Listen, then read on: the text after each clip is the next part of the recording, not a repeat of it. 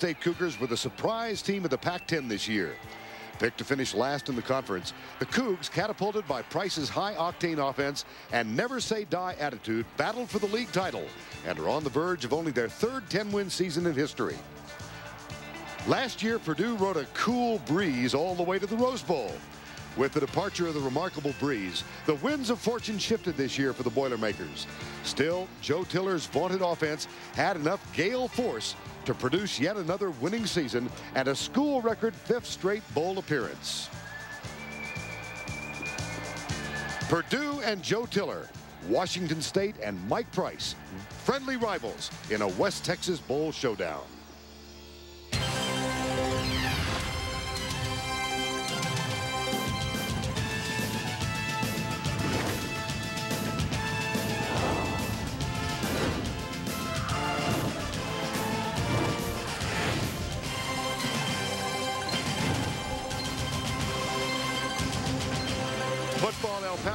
Style played to a special tune, a special flavor as well, as we're happy to present again this afternoon the Wells Fargo Sun Bowl from El Paso, Texas.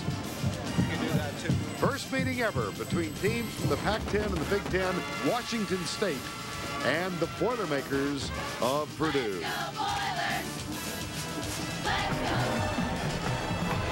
We welcome you to El Paso. Purdue coming in with a 6 and 5 record, and the Cougars of Washington State a great year, a 9 and 2 mark after the 11 game regular season had been concluded.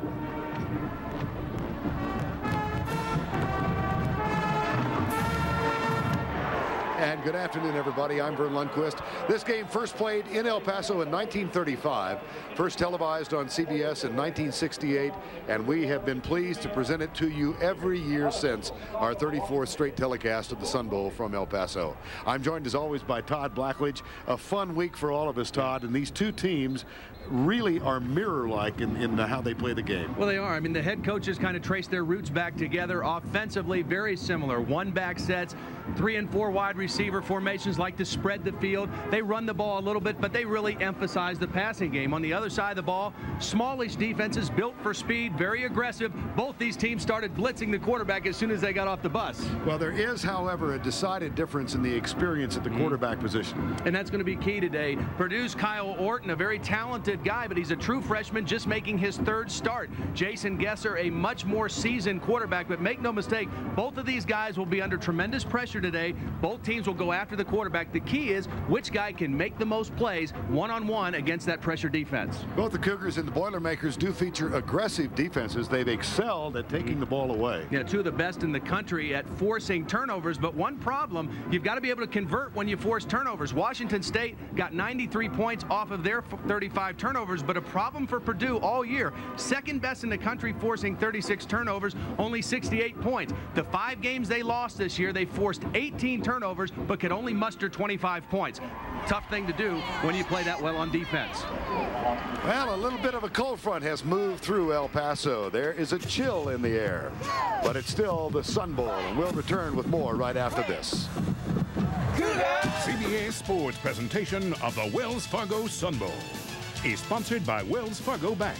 www.wellsfargo.com. Your friends from Exxon and Mobil who remind you to use SpeedPass, today's way to pay. And by Chevy, the cars you can depend on, the cars that last. We'll be there.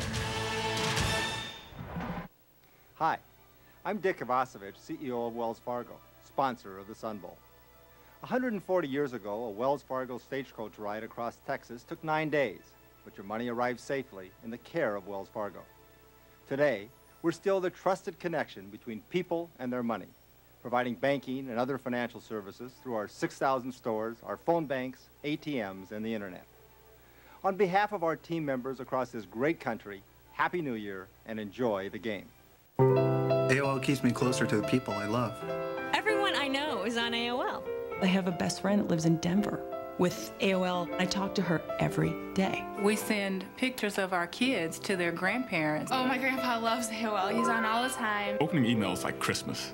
You know, you just never know what's coming. Definitely keeps me connected to family and friends. I mean, I'm even on my grandma's buddy list. Am I on your buddy list? Yeah.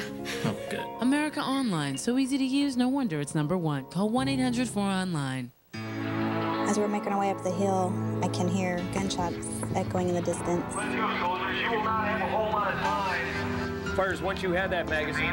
Rocket. Contender four to sit. Three. I'm a little bit nervous because I've never done this before. Left side is ready. Right side is ready. The middle is ready. It's all about precision and confidence.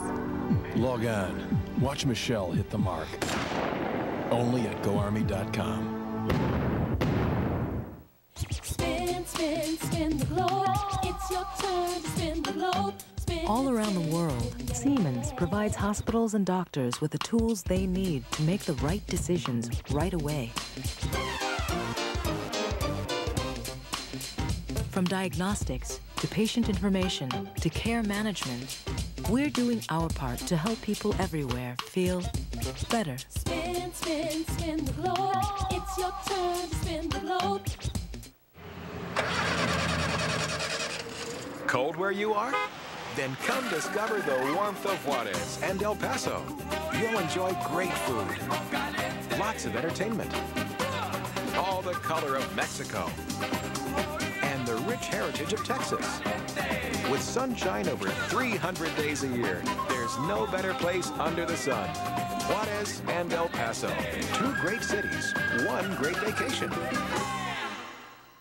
See why Simon Baker was nominated for a Golden Globe for Best Actor. Police!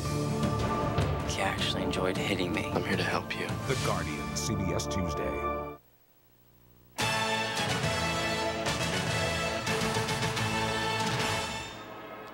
Welcome back to the Wells Fargo Sun Bowl in El Paso, the first meeting ever between Purdue and Washington State.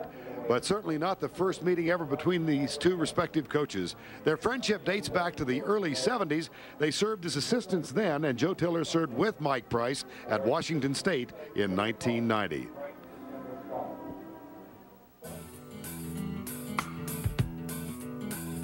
Mike's always been a very uh, uh, open guy. I've always appreciated that about him. And uh, he's just one of those guys, once you work with him, you develop some respect for him. And uh, you kind of you, you kind of take pride, at least I have in him, and it's probably mutual, but you kind of Yeah. take pride in what they accomplish. You say, hey, we Yeah. used to coach together. You, you talk about the success that the other guy has. When it, when I see him do good, you know, it makes it makes me feel good. And uh, I think the thing that I admire so much about Joe is is his intelligence. You know, he really knows the game of football. And when I had an opportunity to hire him, uh, when I got my first head job in Division One, there was no question about it. I, I was honored to have him on our work with our staff for a couple of years and, and really help me get off to a good start there at Washington State. And of course, uh, um, you know, I knew it was just a matter of time. Everyone knew it was a matter of time before people found out about what a great football coach Joe Tiller is.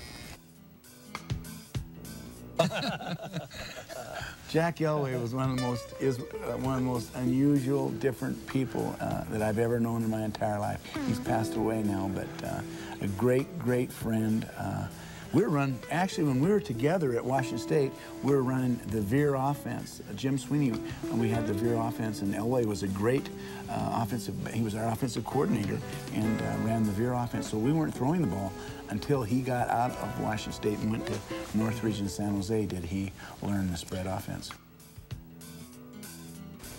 Probably pretty, pretty I'll bet you they'd be pretty close. They'd be pretty close. Probably our protections uh, a little bit. You know, one of the things. Because he really put the protections in, changed my protections when I got to Washington State. So Yeah, we're trying to get the them ones. confused, and geez, hasn't worked.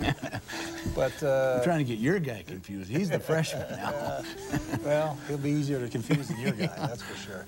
But I, I, I'll bet the books would be very similar. Um, you know, I- basically, I have the Washington State playbook. I've never thrown one out in my Mm-hmm. No, life. he hasn't thrown anything out. I I'm telling you, this guy has, got every moving box that he's ever had from every move. So,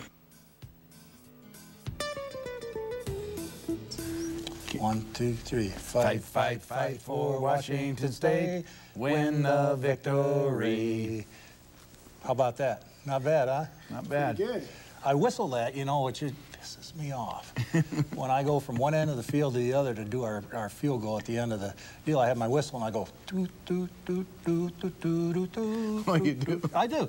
And Gary Emanuel, who coached for Mike, comes over and says, why do you always do that Washington State thing? I says, Catchy tune, isn't it? Well, you can only imagine how much fun, Todd, we've had being around those two men this week. Yeah, they're genuine guys. And, you know, in a lot of bowl situations, head coaches and their staffs have to do things together just because that's the way it goes. But these guys were looking forward to doing things together. And I think it was an enjoyable week for both of these coaches and their families. Joe Tiller, Mike Price, they represent the best of this sport. We'll return to the Wells Fargo.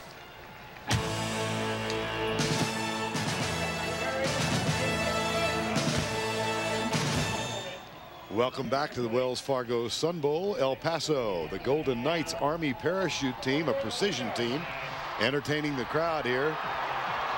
Eight of them have just uh, departed the plane and now coming down toward the middle of the field. Well, we've got both sidelines covered today, and let's begin with coverage from Heisman Trophy winner Andre Ware. Andre? For the Washington State Cougars, head coach Mike Price is known for developing good football coaches. On his current staff, he has three defensive line coach Rob Akey, offensive coordinator Michael Levenseller, and quarterback coach Aaron Taylor Price. His son are currently on his coaching staff. Coach Price's roots can also be traced to the Purdue bench, whereas head coach Joe Tiller, as you guys mentioned, was his offensive coordinator from 1989 to 1990. Assistant coaches Blaine Bennett and Gary Emanuel have also coached under Price. Guys, with so many coaches having ties with Coach Price, you just wonder if they're going to know which sideline to go to today. Over to Jill Arrington on the Purdue sideline. Well, thank you, Andre. This Purdue team has changed a lot. Last year's Purdue total offense ranked fourth in the nation. This year, they're 105th. The biggest reason for the change is an inexperienced offense. They lost quarterback Drew Brees and four offensive linemen to the NFL.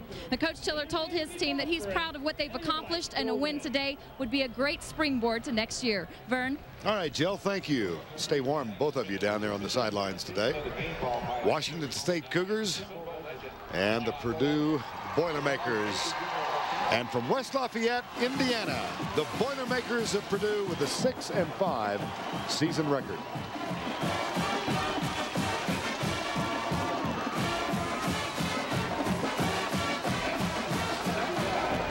Toss of the coin, getting ready in the center of the field. And here come the Cougars of Washington State. Only losses this year. Tough loss to Oregon and a loss at Washington.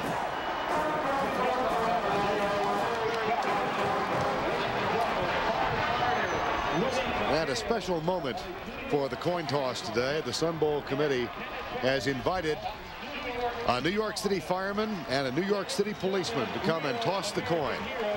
And what uh, what a wonderful week they have had and we have had meeting them. That's Detective Kenneth Pepe, a nine-year veteran of the 109th precinct from Flushing, New York. And also firefighter Woody McHale, a 15-year veteran now with the Manhattan Command Fire Marshal's office. And Woody is so fired up. I mean, he was a little late getting out to the center of the field because he wanted to run out on the field with the Washington State team. He was leading the team out. And we've heard him for two days, and he's just, this is the first full football game he's had a chance to watch this whole year because of how busy and tied up he's been. He is really excited for today.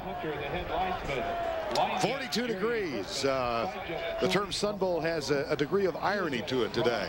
It has been in the 60s, and all of a sudden last night, a front move through. Forecast for the day, cloudy. Washington State won the toss, and they will receive.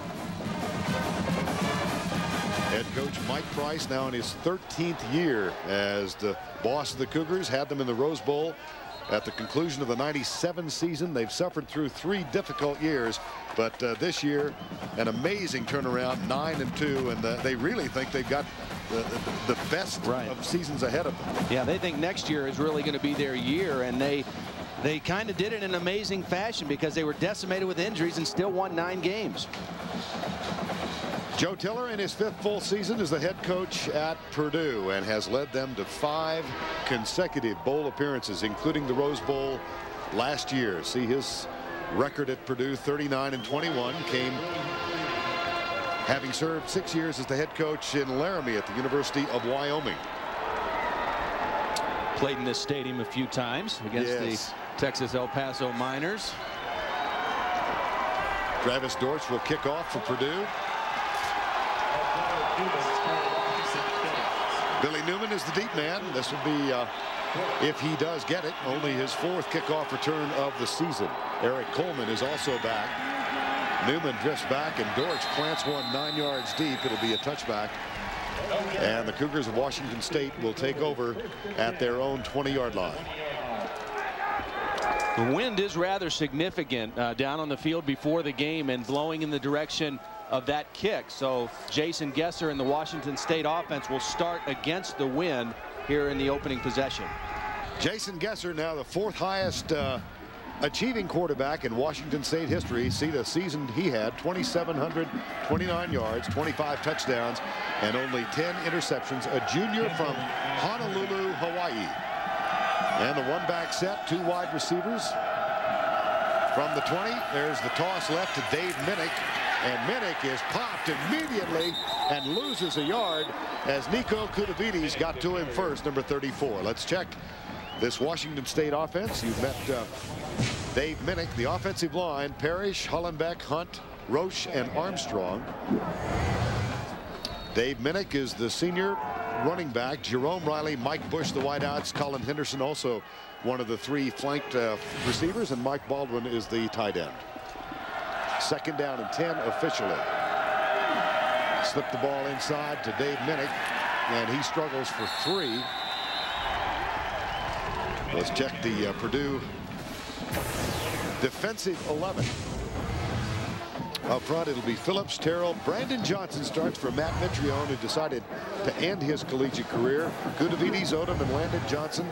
And in the uh, secondary, Woodyard, Schweigert, Farrell, and Rogers.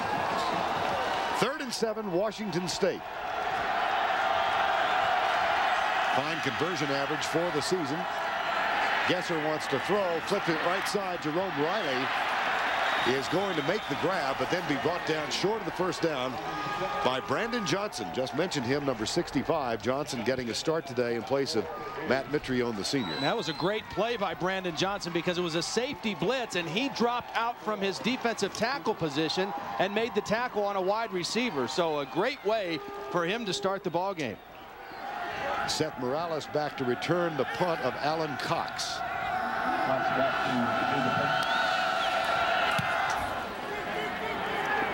This one hangs up. Morales grabs it at the 28. Seth Morales on the reception. Moves across the 35 to the 36 yard line. 44 yard punt and eight on the return. So Purdue holds. And here's a young man, freshman from Altoona, Pencil, uh, Altoona, Iowa. Right. I knew I was going to get, get confused. Absolutely. Kyle Orton getting only his third start. He came on in the second half of a game against Michigan State, replaced Brandon Hance, was named the starter for the next two games, and uh, Brandon Hance has decided to transfer out to a school on the West Coast. And they really like him. Uh, they are very pleased with his progress, and really the month he's had to prepare for this bowl game has been the best thing that could have happened to Kyle Orton. Montrell Lowe, play fake on first down. Orton goes deep into double coverage, and he's got Standeford hit him in the hands, could not hang on. The pass incomplete, but a deep thrust on the first play by the Purdue Boilermakers. Well, the Purdue coaches told us that they were going to throw the ball a lot at Standeford, and the first play they go after Marcus Trufant, the best cover corner for Washington State.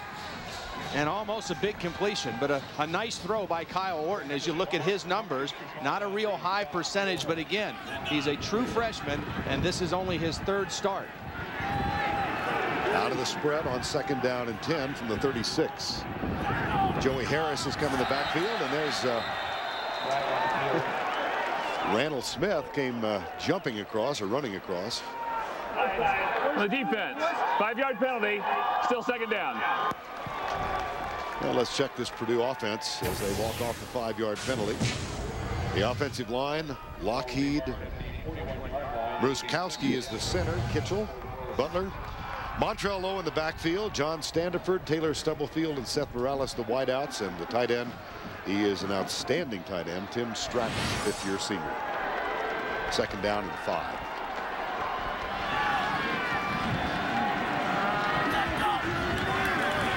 Orton, right side, knocked down before it got to the intended receiver. defensively for Washington State.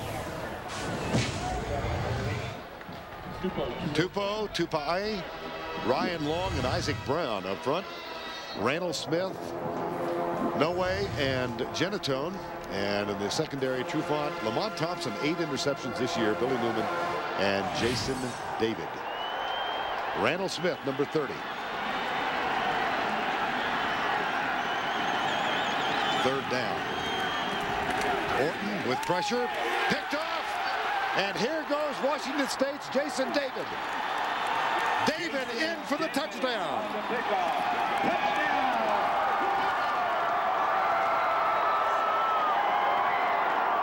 We saw the graphic on the screen right before that play. Washington State, the best team in the Pac-10 on third down, only allowing 27% conversion. This was an all-out blitz, single coverage on the outside. And David just read the quarterback and made a great break on the football inside of Seth Morales. He watched the quarterback, he squatted on the play, Pat Bennett with pressure. Extra point from Drew Dunning is up and good. Jason David's second interception of the season. More significantly, that is the fifth interception returned for a touchdown this season by the Cougars. Their eighth defensive touchdown overall.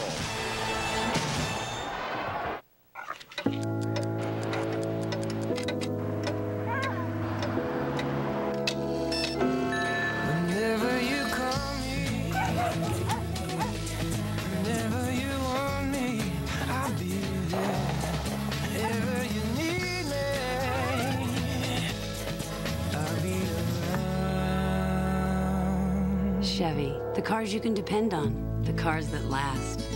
Chevy, we'll be there.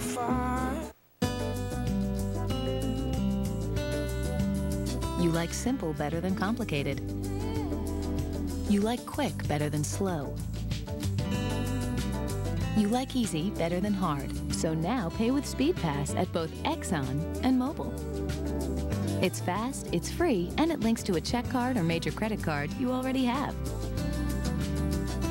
Toll free or visit speedpass.com. We're drivers too.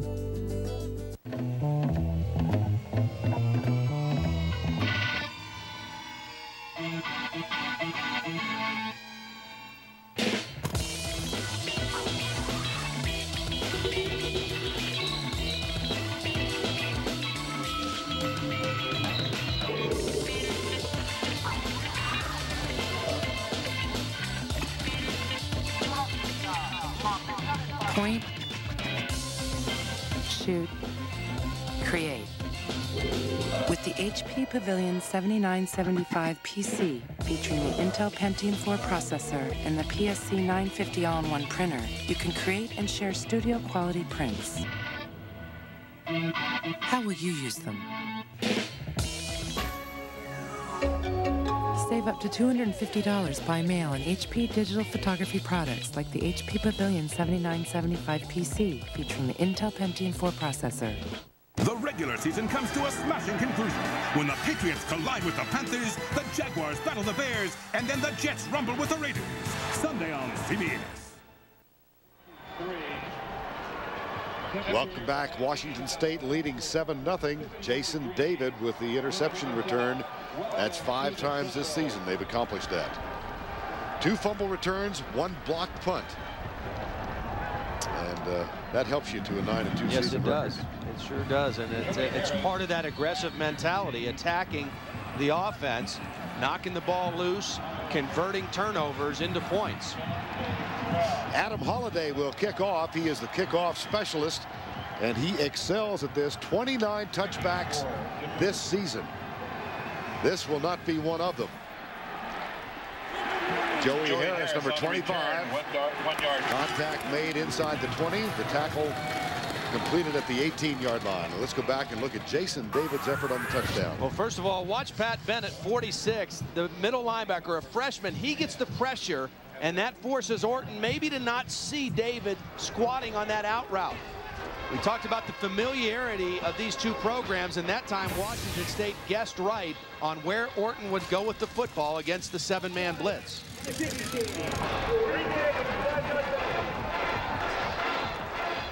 Offside on the kick. Five-yard penalty, and they're going to re-kick. I think that give Joey Harris another shot with the football. He's the the fastest guy on this Purdue team, a track star, and uh, a guy who uh, probably healthier now than he's been at later stages of the season, and give him another crack with the football in the return. Harris for the season 19 yards.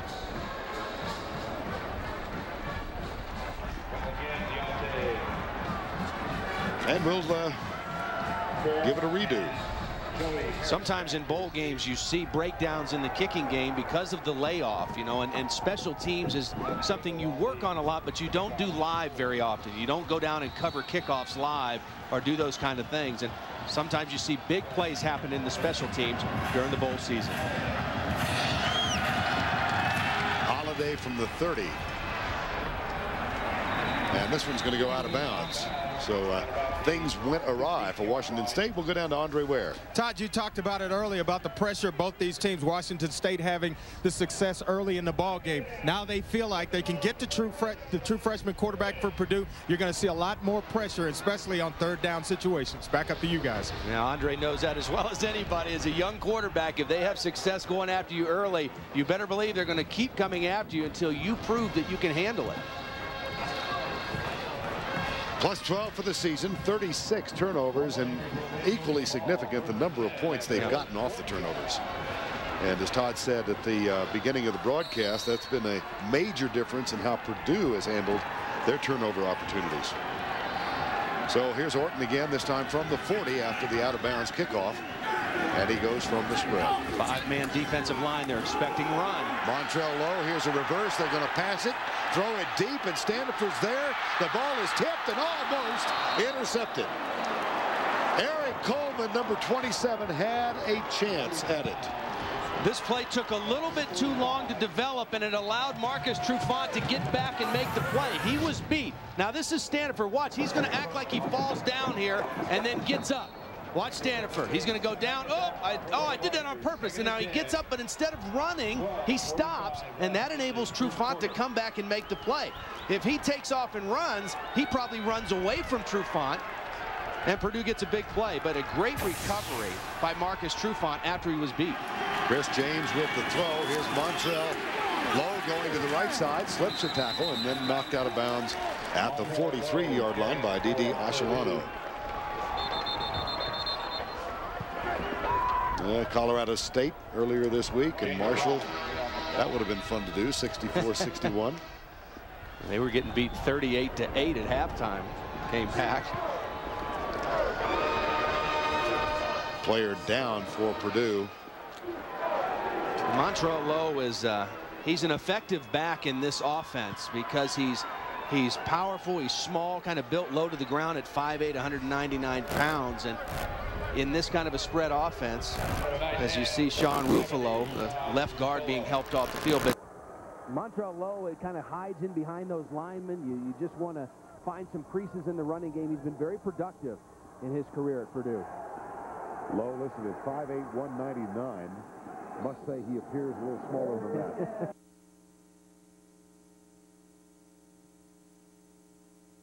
Media guide height.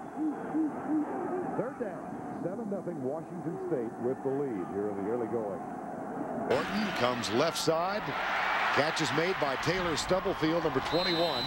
And that's going to be good for a first down at the WSU 45-yard line. Nice conversion. Nice play that time by Kyle Orton. You know, he's had a little bit of a rough start. Nobody likes to have an interception return for a touchdown, but he hung in there and made a nice throw on third down and moves the chains. And the coaches at Purdue told us the two guys they're going to throw to today are Standeford and Stubblefield. They came on strong at the end of the year. One's a sophomore, Standeford, Stubblefield, a redshirt freshman. That's the future for Purdue football. First and 10, Purdue. And uh, whistle this one dead, bring it back. Flags thrown before the snap. Our officiating crew today from Conference USA. Here's Randy Smith, the uh, referee. Dead ball, false start on the offense, five-yard penalty, still first down.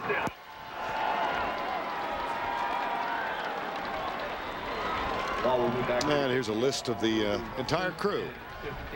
McMahon, Hunter, Bergman, Skelton, Lombardo, and Tom Compton. First down 15 after the five-yard penalty. Ball back at the midfield stripe. Lowe, driven down, no gain.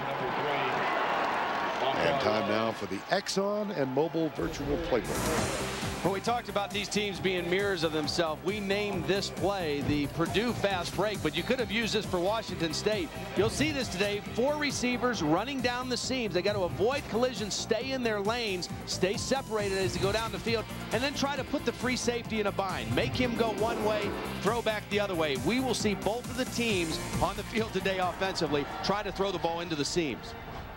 No gain on the last play. It is second down and 15. Joey Harris is in the backfield with Cedric Brown, and we've got uh, another infraction. Now, second time we've seen that. This time it was James Price trying to time the blitz. Five-yard penalty, still second down. And they're trying to hit this on the move. You want to hit a blitz going forward. Watch James Price right here, number five. He's just going to try to time the snap count and hit it on the run but he guessed wrong.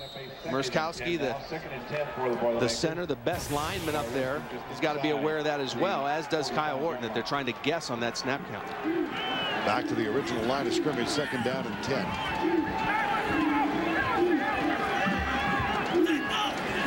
Cougars bring four. Orton has to scramble, and he is uh, caught after about a half yard gain. That will not go as a sack, but uh, close to it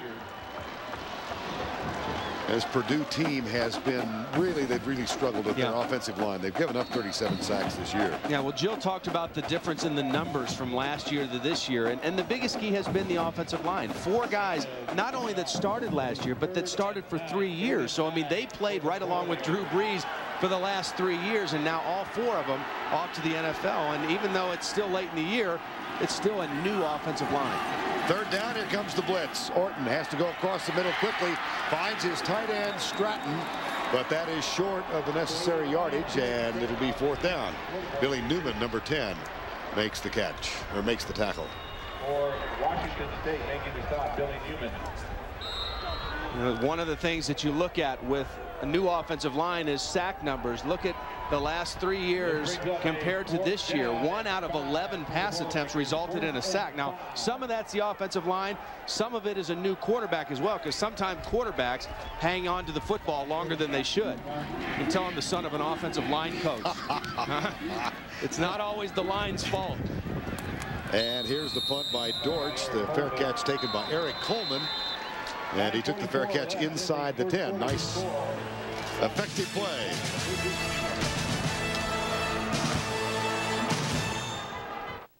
Impala. My dad had one of these. Really? Wow. I just have some very nice memories from that car. Did his have the smoke lenses in the front? Rear deck spoiler, 200 horsepower V6 engine, 16-inch aluminum wheels. wheels. Well, I just love that they brought the Impala back. Whenever you call me, Chevy Impala LS.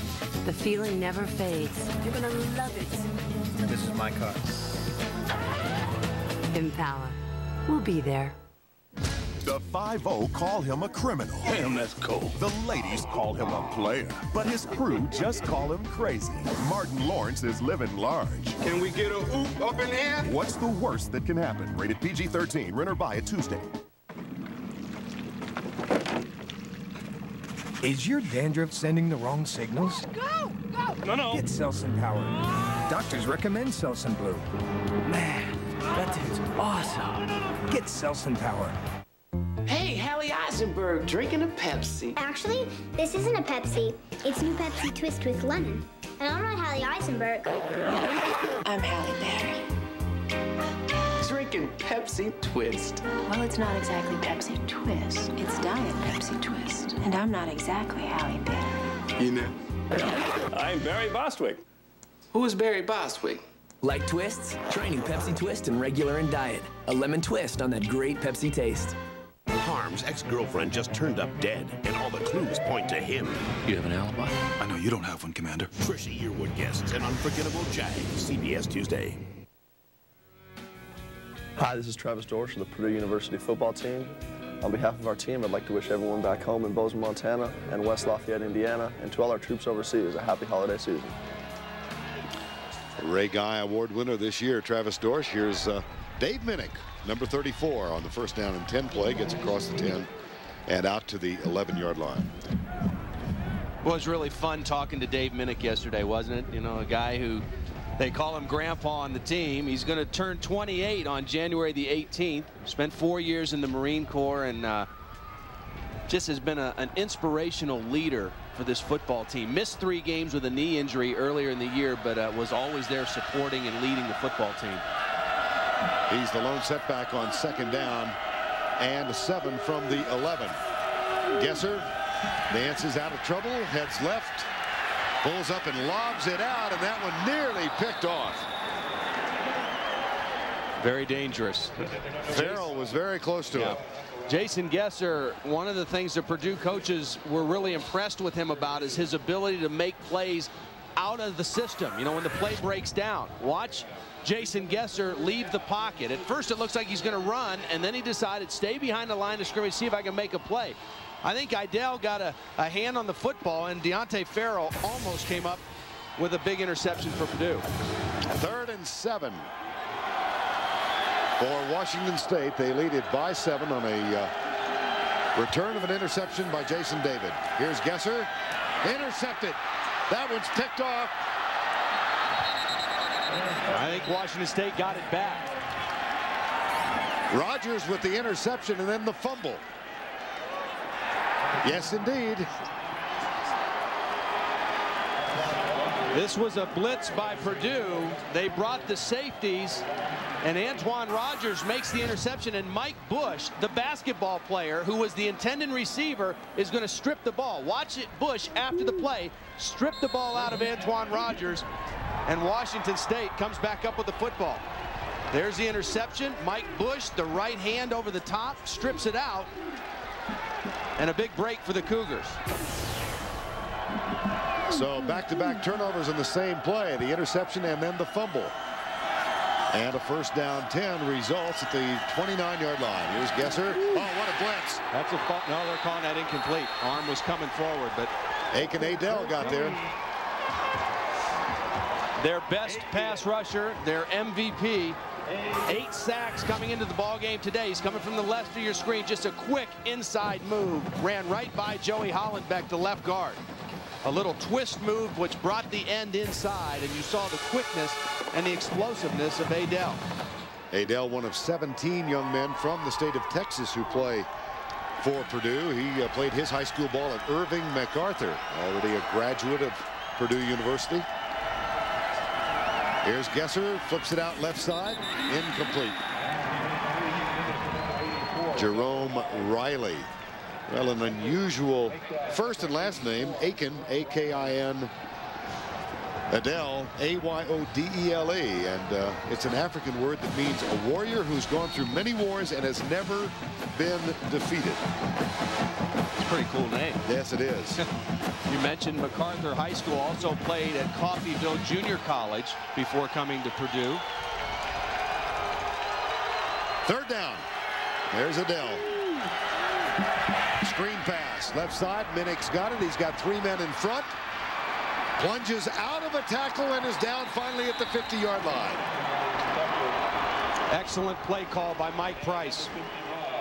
Purdue showing that they want to come after the quarterback blitz. You catch him in a blitz and you throw the screen. Watch the pressure and Gesser just lets it get to him and at the last minute flicks it out to Minnick. He's got a little wall of blockers out there. Nice play call against that defensive pressure by Purdue. Well, Dave Minnich, uh, Todd said he's going to be 28 years of age, married, two kids. Uh, just a wonderful young man. First down from the 50-yard line. They flip it out quickly, left side. Jerome Riley, here he goes. Rogers chasing him. And a flag is down at the 41-yard line.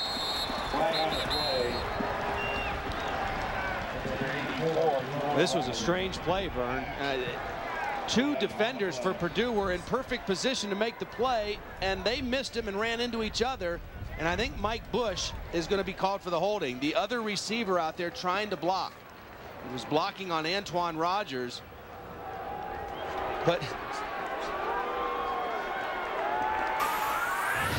how Riley got away from Schweigert. There's the hold by Bush and the block in the back on Antoine Rogers to negate that play. And uh, Gesser knew it, saw it from a distance, so that's a 43-yard gain wiped out. And back-to-back -back plays, you know, we had the screen on third down. That's almost like a screen, a little quick flip to the wide receiver, trying to negate the pressure that Purdue is bringing. That was a pretty good low post move by the basketball player. But he got ready. caught. Yeah. First down. First down at 11. And here's Minnich again. He's a he's a, a plunger. I mean, he just great effort. Well, Mike Bush, starter on the basketball team, averaging 10 and a half points per game. And he's a good one. Sat out of football for three years. He will rejoin the basketball team for a game in Southern California on Friday night. From the time they played at Washington in Seattle Husky Stadium, he's played eight games and averaging about 10 and a half per game. Second down and six. Gesser. Deep for Bush. And Bush is there. Touchdown, his 10th of the season.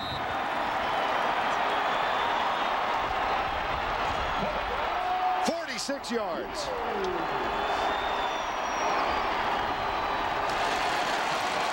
Antoine Rogers is a redshirt freshman, but more importantly, he's only about 6'1". Mike Bush, the basketball player, is six foot six. And on this play, he uses that height to its full advantage. This is not a great throw by Gesser. It's up for grabs, but Bush able to adjust to the football and use his big body to keep the defender away. Extra point from Drew Dunning is up and good. 46-yard touchdown reception. Mike Bush makes amends for the holding call in a big way. 14-0 Washington State. And Mike Bush, 10 touchdowns this season. That one for 46 yards, and it culminated. It was a culmination of a six-play drive, 71 yards, 94 seconds, 14 zip. It was interesting talking to him about why he got back interested in football. He said he always loved football, and he used to just kind of walk by the football coach's office, and he'd see him watching film. He'd just kind of hang out and keep watching film, and kept coming back and back, and finally came out on the team. Here's Taylor Stubblefield, number 21, with the kickoff return. He's got some room. And Stubblefield tackled at the 27-yard line. Curtis Nettles makes the stop. Final uh, Sunday of regular season football. Here's our doubleheader for you. Jacksonville at Chicago, New England, Carolina, Cleveland, Pittsburgh. Broncos at the Colts. And the second game, the Jets go out uh, to the West Coast. Oakland suffered a little hiccup yesterday, and it all begins with the NFL today, Sunday at 12 noon Eastern, next Sunday on CBS.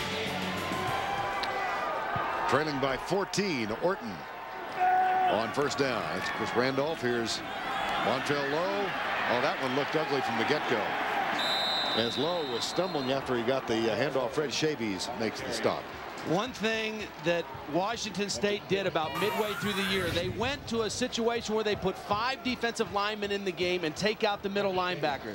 This is to help against the run. When they played Oregon earlier in the year, they gave up 446 yards rushing to the Ducks. The next week they played UCLA. They put in this five-man defensive line to help against the run. They played much better, and they, they bring that in in situations where they really expect to run. That time it worked perfectly. Lowe on first down. He gets into the secondary and motors across the 30 to the 32. Billy Newman, number 10, with the tackle. Now look at the first five games, under 60 yards per game. And the, the huge, the whopper was 446 yeah. yards given up to Oregon in a loss. And then uh, the last three, 125 the average. And again, right after that, they played UCLA and Deshaun Foster. And even though Foster had 102 yards in the game, he only had 22 in the second half. So much better from that point on. Orton Stubblefield slips the tackle and moves it to the 45-yard line. Nice third down play.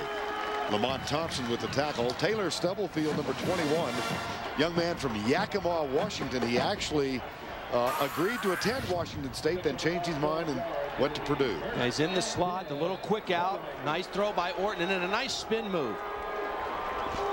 Eludes a defender. That's Lamont Thompson, who's the All-American free safety, but not as used to covering single coverage out there on a wideout. First down and 10, Purdue from the 45. Play fake. Orton rolls out, comes left, incomplete, uh, just across the 50. Intended for Kevin Knoll, number 23. Well, Purdue with a, a five and one season start, and uh, they were very productive offensively. They have struggled the last five games, as you can see. And the coaches really felt, even though Brandon Hance had some good games in there at, at early points in the year, that the offense had really started to get stagnant, and that's why they made the choice to go to Kyle Orton late in the year. 37 yards thus far in this game, second down and 10. Three wideouts. Orton clicks it out left side, intended for Chris James, incomplete. It'll be third and 10. Yeah, that's a that's on Kyle Orton. He's got to be more accurate. He's getting protection. He's got guys running open, and he's just got to find the range and zero in on those throws. Big, strong arm kid. I mean, he's a tall guy. He's six foot four, six foot five. He's got an interest in that Nebraska game. Yeah, he does. He's a big Nebraska fan, grew up a Nebraska fan. In fact, his uncle, Greg Orton, was a starting guard on the team that lost to Miami in the 84 Orange Bowl. So, big red fan all the way. Here comes a max blitz. Orton gets protection. Stubblefield, it was just a little too far in front of him. Billy Newman defending number 10. See, the one thing right now that Kyle's doing is he's doing a nice job of staying in the pocket. I mean, he's not afraid to take a hit or stay in the pocket. He's just got to kind of zero in the rangefinder right now. He's got to get that ball thrown it between the numbers of his guys. He's got guys open. His offensive line's given a little time. He's just got to find the right range. Travis Dorsch on to punt and does. Taken at the 18-yard line. And Eric Coleman immediately tackled at the 21. And let's check in with Andre Ware. Guys, uh, Washington State's defense, they're going to show Kyle Orton a lot of different looks. He's a young quarterback, like we mentioned earlier in the ball game. He's going to see some zone coverages on first and second down. He'll see some looks that look like blitz. They back out of it and then go to zone. Then they'll bring the full-scale blitz that you talked about, Todd, on third down. He's going to see a lot of different looks. He's going to have to stay mentally sharp all afternoon. Back up to you guys. And I think that they're going to have to do a good job throwing on first down, too, because I think Washington State is expecting run on first down. They've played that five-man defensive line on most first down plays. On first down, Dave Minnich in the backfield. Gesser rolls out after the fake and fires it toward air. Got rid of that one. Threw it away. Good pressure on the inside. Craig Terrill with excellent pressure. Continue running down uh, some of the bowl games. A&M over TCU. People might have thought the old Southwest Conference days were back. That one was a surprise to me. Boston College beating Georgia. I thought Georgia would win that football game, but Boston College uh, really looked at that game as a chance to take a step forward in their program. Uh, winning a game like that. Big win for Tom O'Brien's team. Second down and 10. Washington State up by 14. Here's Ayodele coming from the backside. Jerome Riley knew he was going to get popped, so he became a blocker. See, what happened on that play is that Purdue showed blitz. They came up and showed blitz and invited Jason Gesser to audible. And then when he did audible, they jumped out of it and played zone. And uh, so they, they baited him into an audible, and then Gesser didn't have anywhere really to go with the football. Gesser, 4 of 10 for the start. Honolulu, Hawaii, his high school team. He led them back-to-back -back seasons, 12 and 0. 24 and 0 at St. Louis High in Honolulu and said he belongs in Pullman. He was very entertaining talking about how much he loves playing at Washington State. Didn't enjoy that play. Battles at both end. Schweigert with the blitz and he got to Gesser's middle about the time he let it go. Yeah, nice coverage that time. Against the blitz it's man to man We talked about the pressure on Kyle Orton, but Purdue turning up the heat on Jason Gesser. Didn't quite handle the snap clean. The blitz by Schweigert. And a nice third down play by the Purdue Boilermakers. Alan Cox on to punt for the second time. Seth Morales, and they come for the block. Don't get there. Very close. Morales with a fair catch, grabs it at the 45. That's a 34-yard punt, nothing on the return. Nice defensive series by the Purdue Boilermakers. For complete College Bowl game coverage, including Sun Bowl photo galleries, bowl capsules, and matchup analysis, go to cbs.sportsline.com or America Online, keyword CBS Sportsline. Wouldn't be surprised to see Purdue try to go deep down the field again, maybe into the seams, try to get Standeford the ball downfield. Here's that five-man line again on first down. Orton rolls to his right and finds a receiver across the 50 at the 46-yard line. That's Tim Stratton, his second catch of the game. Stratton with 47 receptions in the regular season this year. But uh, talked about missing Drew Brees. I mean, they had some combination going last Yeah. year, and he said it's been a little different in 2001. It's tough for a senior. You know, you, you come off a junior year where you have such big numbers and, and the offense is clicking and everything's working. And then your senior year, you're breaking in new quarterbacks. That, that's tough. Second down and one. Montrell Lowe across the 45 to the 44-yard line. James Price, number five, makes the tackle. Montrell Lowe on the carry. Montrell Lowe, another of those uh, 17 Texans who have migrated into Indiana, West Lafayette. He is from LaPorte, Texas, down near the Houston area. Engaging young fellow. Players are a little more relaxed in these uh, Yeah. circumstances, aren't they, Todd? Yeah, it's a fun week for everybody. You know, there's still a game to be played, but they have a lot of fun, too. Orton across the middle, got it. Stratton, the tight end, his third catch, and he's tackled at the 38-yard line by Randall Smith, number 30.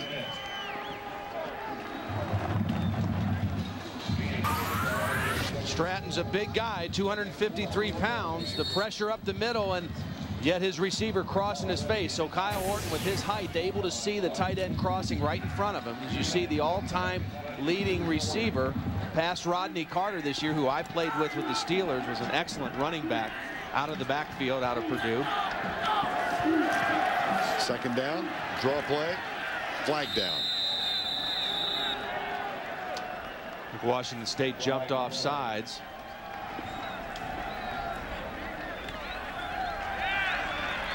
An important drive right now for Kyle Orton and Purdue. Their defense got him a nice three and out, got him good field position off the punt.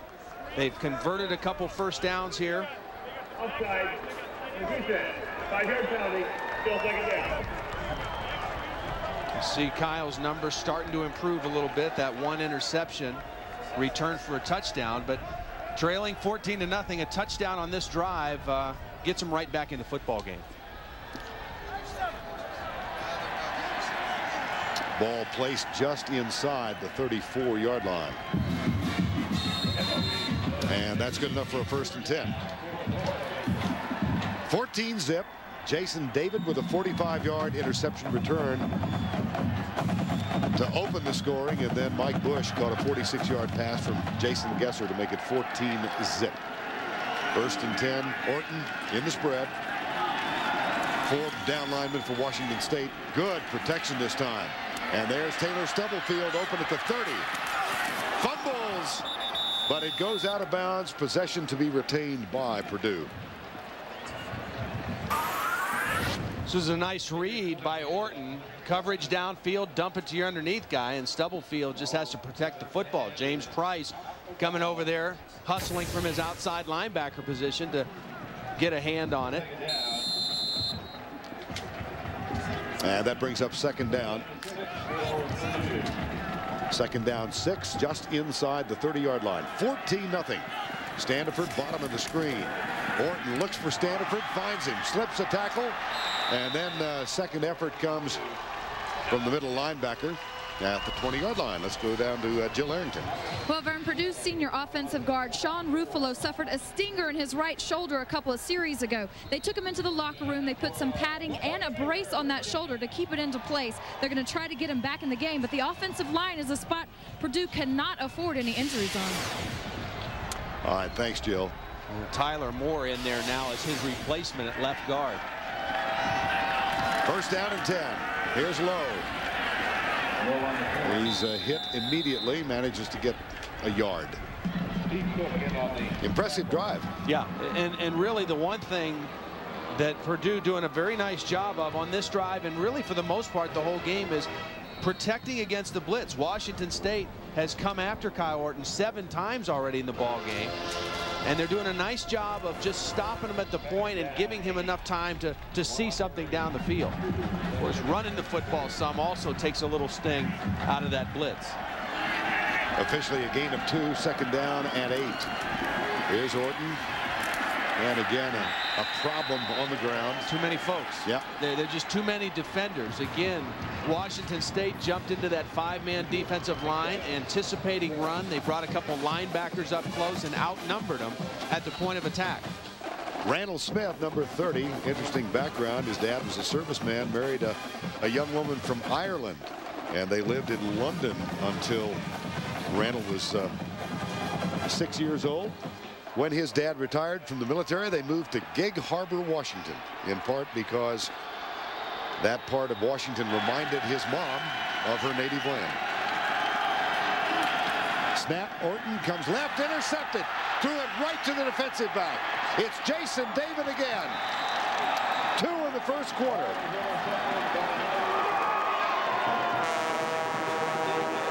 Well, again, there was pressure right up the middle. This time it was Randall Smith, who you just got done talking about, who got the pressure right up on the inside of Kyle Orton. Watch number 30, right up the middle, and that affects a quarterback, believe me. Kyle Orton throws it early, a little miscommunication on the outside with his receiver on what the adjustment was going to be, and he threw it right to Jason David.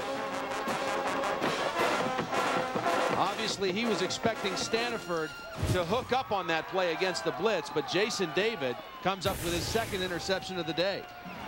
Scored on the first, gets this one out to the 41-yard line and puts a period to an impressive drive. Here's Schweigert coming. The catch is made by Jerome Riley. There's a fumble picked up, and here goes Purdue. What a play by Gesser. Landon Johnson picks it up with a counterpunch. I mean, this is excellent defense by Purdue. A huge hit, they rip the ball out. Joe Odom from the back is going to get a huge hit, and Brandon Johnson's trying to rip the ball up from the front. Watch the end of this play. Now 65, Brandon Johnson, he's trying to rip the ball out. Watch Odom hit him in the back, and the ball pops out. But then Jason Gesser saves a touchdown. I mean, there's four guys there could have blocked Gesser, and nobody makes a block on Gesser. And Landon Johnson not able to get this one in the end zone. An excellent play by Purdue, but good hustle by Jason Gesser. And after the fumble return, first down at the 17-yard line. Here's Orton. Finds a man. Seth Morales inside the 10 at the 9-yard line. Diving catch made by Morales, the junior from Indianapolis.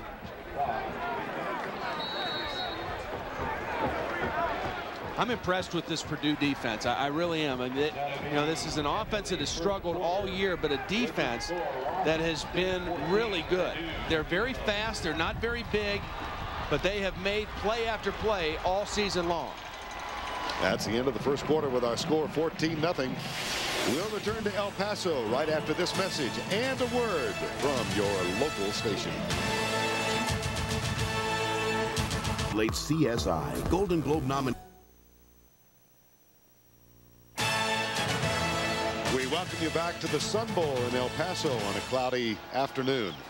14-0 Washington State leading Purdue. They got the first touchdown on a 45-yard interception return, then a 46-yard pass, but Purdue now threatens after a fumble return of its own.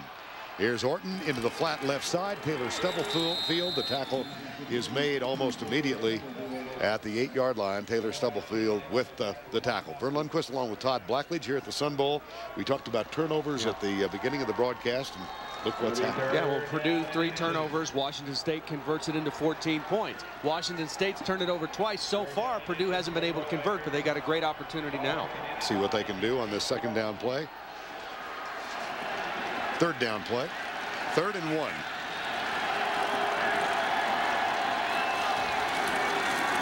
Montrell Lowe got it. First and goal at the five-yard line. Up, touchdown. I think they might have called him down. I think you might have been right, Verne, because I mean, credit Montrell Lowe for not quitting on the play and, and keep moving. He did a nice job to get the first down because Rien Long had gotten penetration and I thought was going to make a play behind the line of scrimmage. And it will be brought back to the five. Yeah, see, Mon Rien Long beats the penetration and gets the first down. Now, as he's spinning and fighting and going, they must have just called him down by momentum because I didn't see his knee hit the ground. The inadvertent whistle may have uh, made an appearance. Into the end zone. Standeford out of bounds short of the goal line. He's at the one half yard line. Really a nice play by Marcus Trufant. I mean, this is single coverage against a big receiver. John Standeford is 6'4", about 200 pounds. And watch Trufant keep him out of the end zone and not even allow him get the ball across the plane. Standeford's going to try to reach the ball across the plane. He can't even do that. Excellent open field play by Marcus Trufant, the junior out of Tacoma, Washington. Second and goal. Montrell Lowe goes left. Did not get it. Trufant again. We saw him against the pass and now against the run. You know, one thing about Trufant, when I saw him on film against Washington, he was playing with a big club on his hand because he had had an injury, a broken bone on his hand, and he missed five games. But now with the layoff of the ball, he doesn't have a cast. He doesn't have any problems with either hand. And he is uh, playing at full strength and playing a nice ball game so far today. Third and goal. Jacob Rowe is the blocking back in front of Lowe. They hand it to Lowe. Touchdown, Purdue.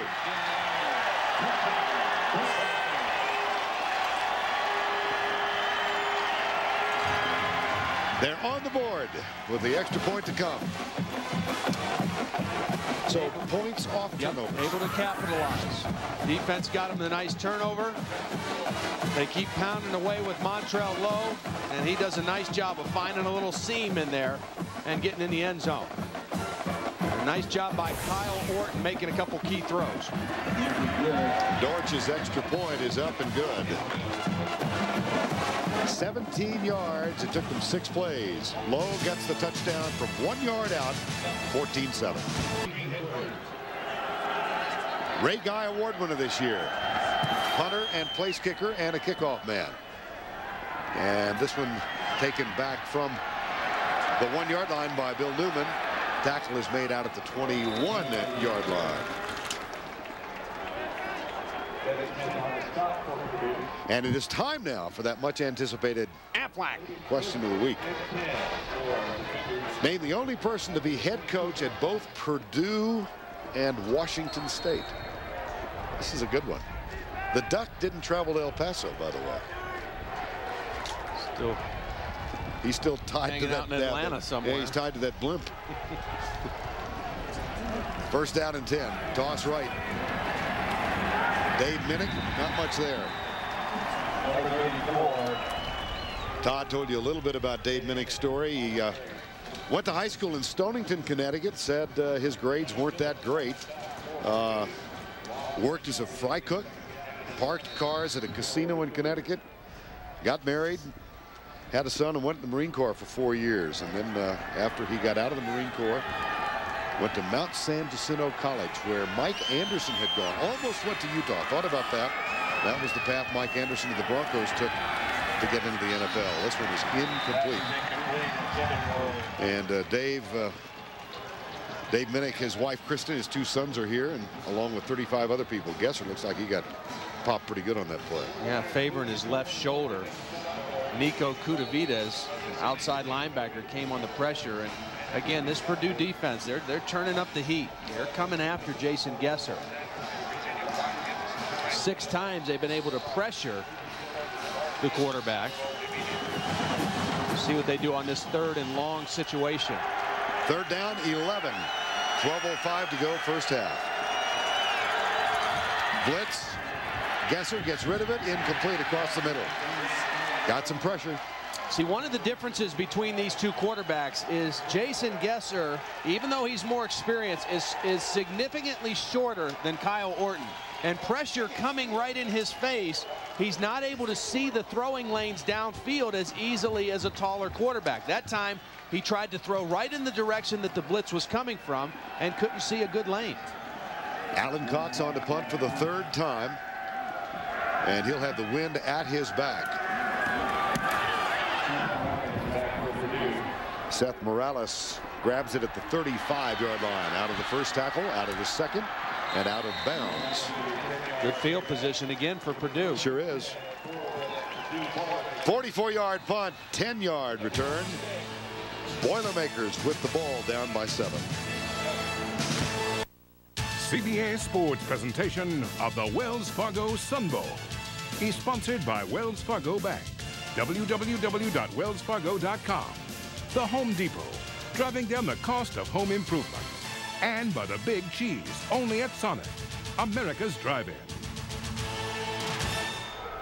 Welcome back to El Paso. Before this game is over, we'll be selecting the Army most valuable player of the game. That's coming up much later on. 11.46 to go first half. And here's Orton handing it off, play action rather, and he finds his tight end, Tim Stratton, number 89. And on the Washington State sideline, Matt Kegel, the sophomore quarterback from Havre, Montana, warming up. Mike Price uh, customarily brings him in for one series yeah. in the second half or second quarter. Yeah, some coaches don't like to do that. He he likes to get him involved in the game early. Matt Kegel, a very talented athletic quarterback, is a cousin of Ryan Leaf, the former great Washington State quarterback. Second down Purdue at the 45-yard line. They hand it off. Joey Harris, number 25, who spells Montrell Lowe, gets the carry. He's a sophomore from Tomball, Texas, another of those uh, 17 Texans who've gone north to West Lafayette. Joe had reported on Sean Ruffolo. He's back in the game now at left guard.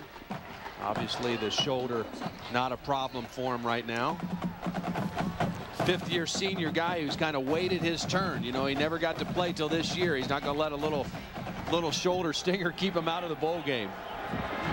First down and 10 from the 43-yard line. Hand off again. Harris, cutback play, gets to the 40, inside the 40, and uh, tackled at the 38-yard line. Well, the Boilermakers in the Big Ten Great uh, football tradition. First Big Ten championship in 1929. Represented the Big Ten in the Rose Bowl last year. The best AP finish was fifth in 43. Bob Griese, Leroy Keyes, Otis Armstrong, Hank Stram, Lenny Dawson, Rod Woodson, and Mike Alstott. That's a pretty good uh, group yep. of alums. Second and six. Here's Orton.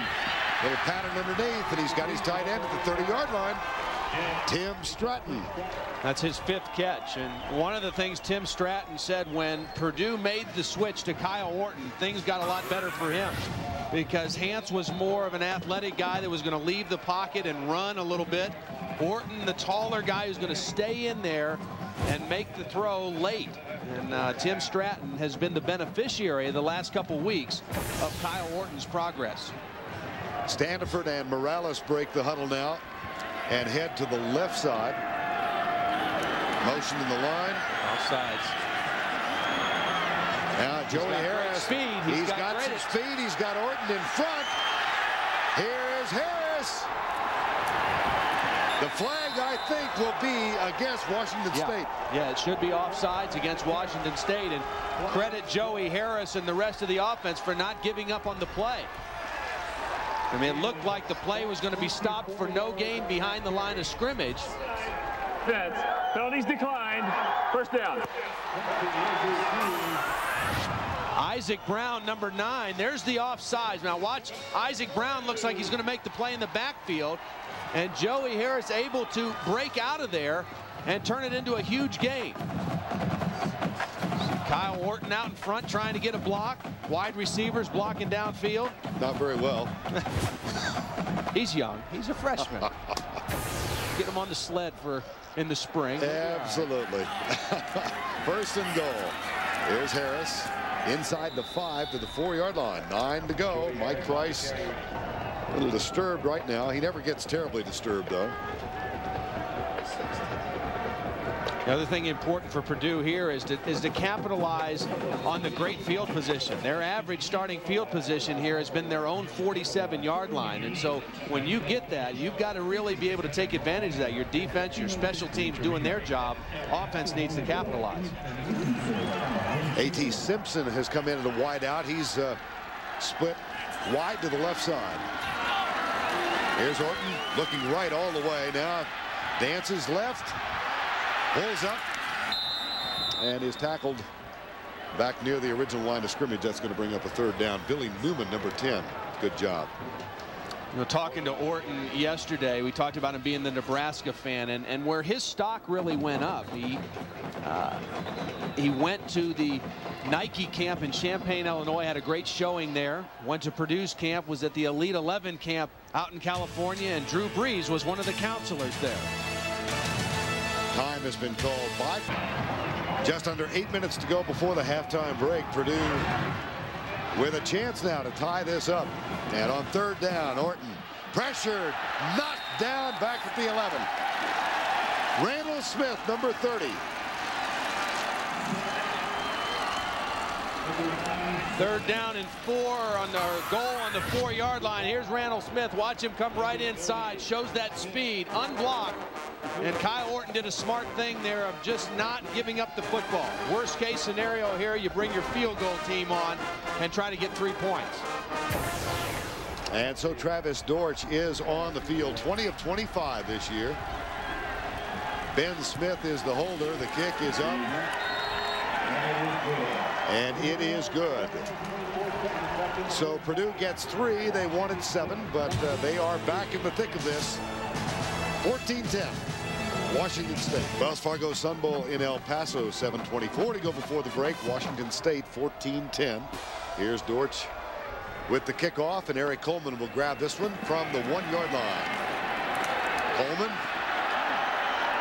spilled as he gets to the 25-yard line. Well, it's time now for the answer to the Aflac trivia question. Name the only person to be head coach at both Purdue and Washington State. I, you got to be a real aficionado of both these schools to get this one. William Lone Star Dietz. He actually got Washington State into uh, the Rose Bowl where they uh, defeated Brown 14 0 in 1917 and then a 1 and 6 record at Purdue. Looks like he might have been a bit of a personality. Yeah, looks like it. Nice coaching gear. Rose Bowl in 15. Here's Kegel on a quarterback.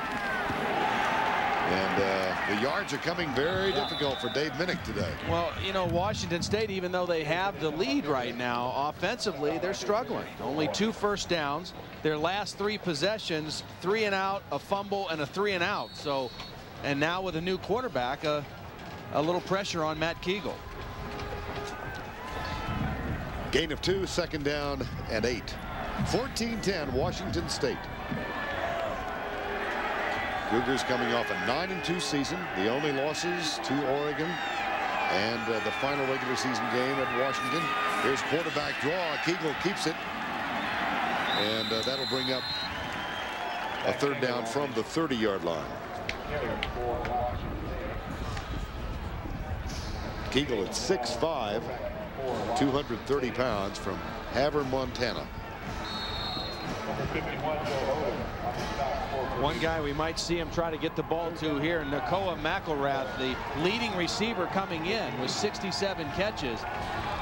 Very quiet today, no catches. He's down at the bottom of the screen. Right here is McElrath, their leading receiver. Did not start today game, today's game. He uh, was in the doghouse with the coaches for some critical comments he made. That one's going to be incomplete as Kegel is popped. Landon Johnson got there, and Derek Roche is very slow getting up. Number 77.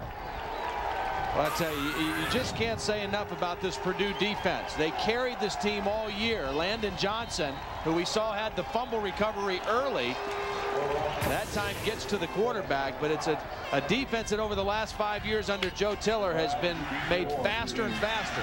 Bad snap. They come after Cox and miss him. And Cox on the run. Low snap. They had a chance for the tackle. And Alan Cox runs 19 yards for a first down. Boy, showed some nice speed. This is a bad snap. Low and wobbly, and Cox does a smart thing. He doesn't think he can get it off, and then shows some ability to run with the football and protects it at the end. So a very heads-up play by Alan Cox. Doug Swan, number 59 of Purdue, was the man who had a chance and missed the tackle. And a first down at the 50. And Gesser back in the ball game. Right. Take advantage of that play and this field position. Here comes the blitz. Throws it deep. That's going to be a flag. Yeah. Two flags. Woodyard was beat and just instinctively reached back and grabbed Mike Bush. The ball was underthrown, and so Bush had to stop and wait for it, but Woodyard was beaten Watch, Bush is behind Woodyard, and he just reaches back and grabs him with the left hand. He does get the right hand to deflect it, but the left hand is what got him in trouble.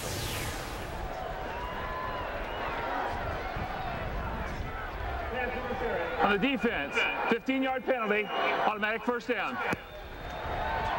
Boy, what a turnaround. Sure I mean, was. You know, your defense has a great series, forced the punt, bad snap, and the punter turns it into a big play. And now Washington State with a first down on the 35-yard line of Purdue.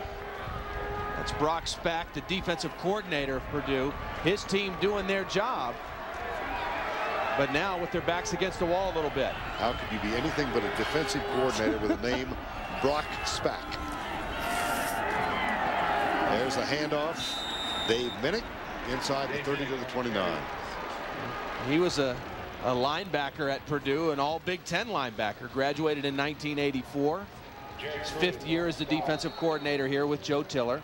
Spent some time with him out in Wyoming as well. So these two have been together a lot. And their philosophy was, let's put our fastest guys on defense. And that's what they started building here at Purdue five years ago. And right now, this is a very fast defensive football team. Second down, four. Cougars lead by four. There's a little flip left side, incomplete. It'll be third down. That was intended for McElrath.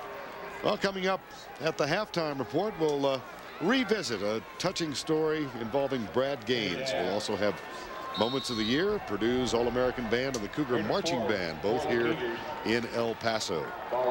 And they will be performing for you at halftime. Big play right here. Purdue's defense had to come back on the field. They've got him in a third down situation. A stop here could be huge for the Boilermakers.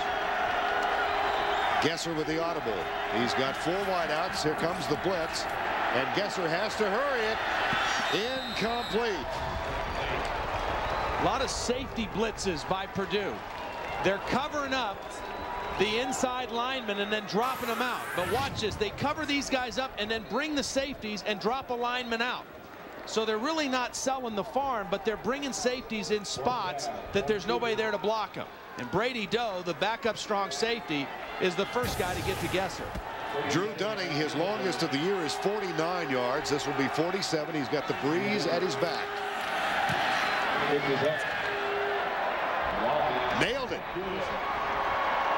Well done for Drew Dunning. He's now 15 of 19 for the season, and they saw a reason he's a first-team All-Pac-10 pick. This is a message from lead on Marinovich's pass to Gary Wellman. The Spartans a 14-10 lead on Courtney Hawkins' 21-yard TD reception. And then Michigan State kicker John Langeloh, a 52-yard field goal in the third quarter, put the Spartans up 17-10. They held on to win it by one at a rematch of the 1988 Rose Bowl that uh, had been captured by Michigan State. 4.17 to go before the break here. The Cougars from Pullman, Washington, leading the Boilermakers out of West Lafayette by seven. And Adam Holliday, they call him Doc, as you might expect, getting ready to kick off.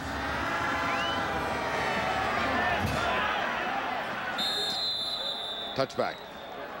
Thursday on Survivor with only two episodes left. The stakes are higher than ever. Who will make it to the final four? Find out on an all-new Survivor Africa Thursday on CBS.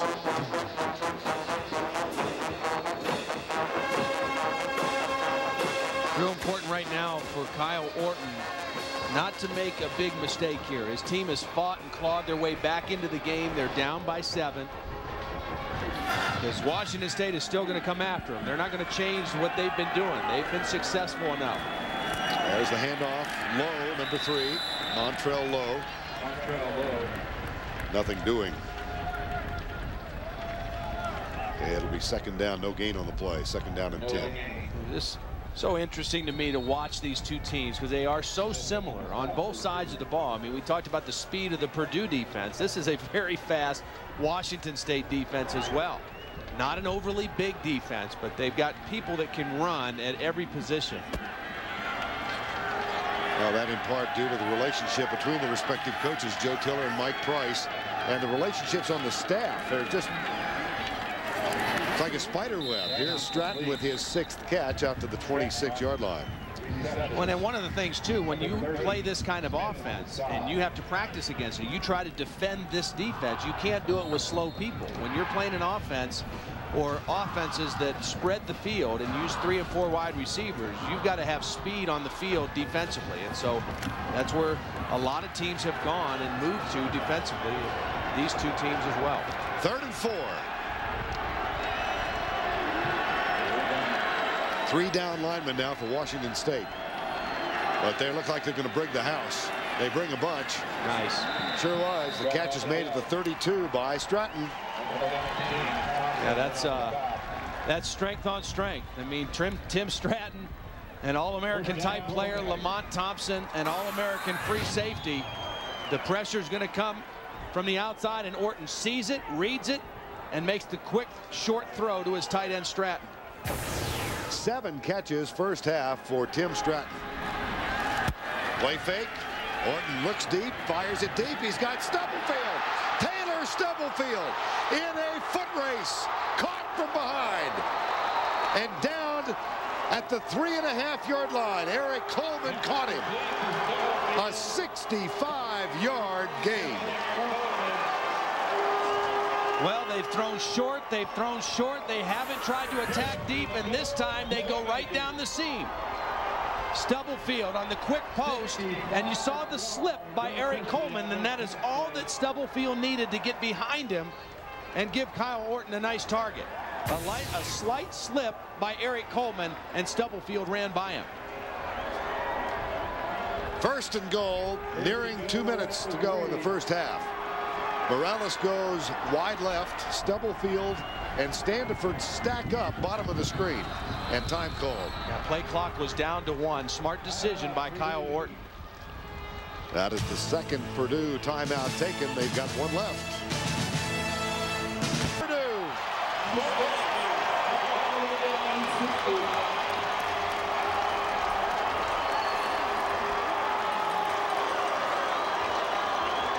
The biggest thing that I've seen from Kyle Orton here in the latter part of the first half, we talked about him having to find the range with his accuracy. He's found it. He's now hit his last nine passes, the ball going right where he wants it to. Billy Newman, the victim on the defense, but Kyle Orton has found his range. Now Stubblefield from Yakima, Washington. Told you earlier he thought about going to Washington State told him he would, then changed his mind, makes the pay. Purdue has tied it up 17 all. It's a little cold here in El Paso. Guys trying to keep warm. 42 degrees at kickoff, and Taylor Stubblefield doesn't feel the chill at all. Here's the kick. Dorsch, it's taken by Newman at the five-yard line. Bill Newman struggles, can't quite shake the tackle, which is made at the 15-yard line. Let's go back to the two big connections, Orton to Stubblefield. Here's Stubblefield. He's going to run the post pattern, and there's no safety help. The middle of the field is going to open up. Orton's going to see that, and then he sees Stubblefield get some separation. That takes him all the way down to the three, and then they got a great matchup on the touchdown. Stubblefield against the strong safety, Billy Newman.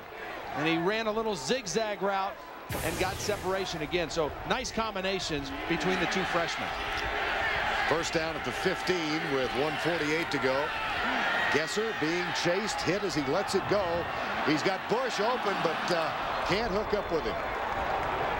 Bush was backing up over Antoine Rogers, number 12.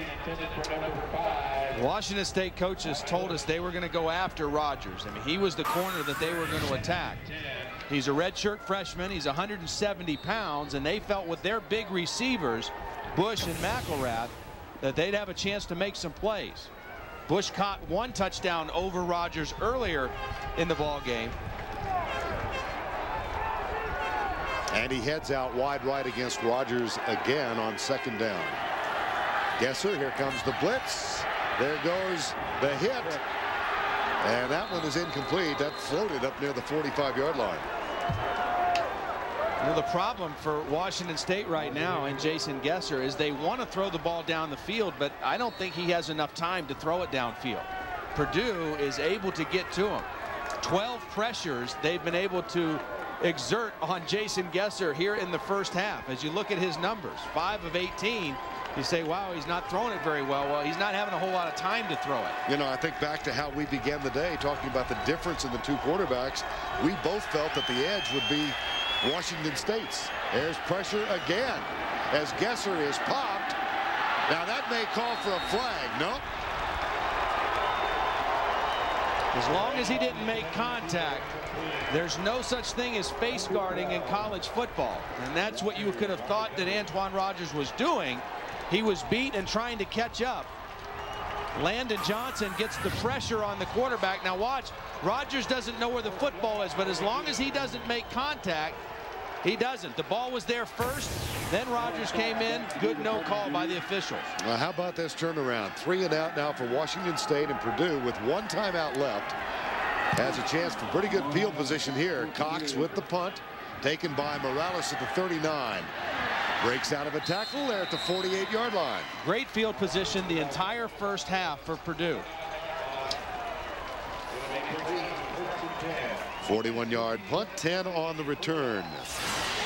Now, triple header women's basketball next Saturday on CBS. We'll begin with Penn at Vanderbilt, then Georgia at Michigan State, and a much anticipated matchup, UConn visiting Tennessee, as they seem to do all the time.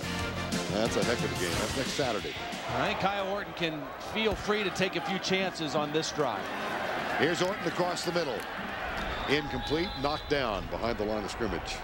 You know, the last drive, I said it was it was important for him not to make a mistake because they were trailing by seven and they had gotten themselves back in the ball game. Now with the game tied with a minute 12 left, obviously you don't want to do something that's not smart. But uh, if you think you can stick one in there down the field, now's a good time. The game is tied, and you guys are, are starting to seize the momentum in the football game a little bit. Second down and 10. Comes right from Morales. It's low, down around the ankles. Jason David was there defending. And uh, let's check in with Andre Ware. Yeah, guys, both teams are still applying a lot of pressure. The difference has been Purdue has gone to the shotgun with Kyle Orton, allowing him a little bit more time to get the football out. Jason Gesser is still under the center. He's having to drop back. It's taking him a little more time to read defenses and get the ball down downfield, get it out downfield. That's back a, up to you guys. That's a really good point Andre makes because of the under the center and coming in those inside gaps. Uh, that's just hard for a quarterback to separate from the line of scrimmage enough. Here's third down. Orton comes right. Got him in. Catch is made for the first down at the 38-yard line. Seth Morales. On the catch. One-on-one -on -one coverage, Jason David. Nice cut by Morales and a perfect throw right on the edge by Kyle Orton. Gain of 13 and a first down with 1.03 to go before the break.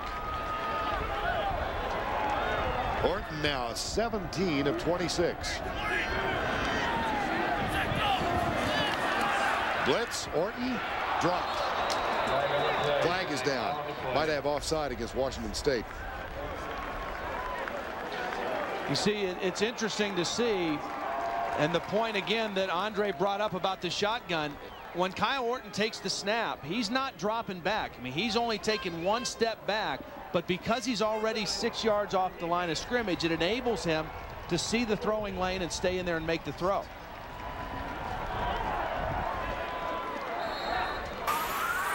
Take a look now. The offsides is going to come from the top. There's Isaac Brown. But watch Orton. He doesn't drop back, but he's already separated enough so he can still make the throw even though there's pressure coming.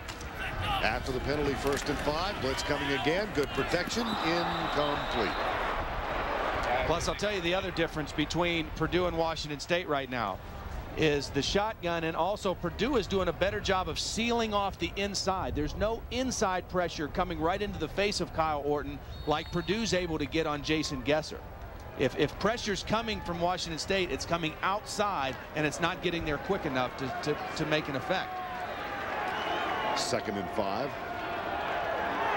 Purdue with one timeout left. Four-man rush. No pressure at all. He's got deep and it's tipped away. Nice play.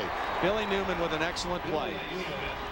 He got beat on the touchdown the last possession, but he did a nice job of getting a hand on the football.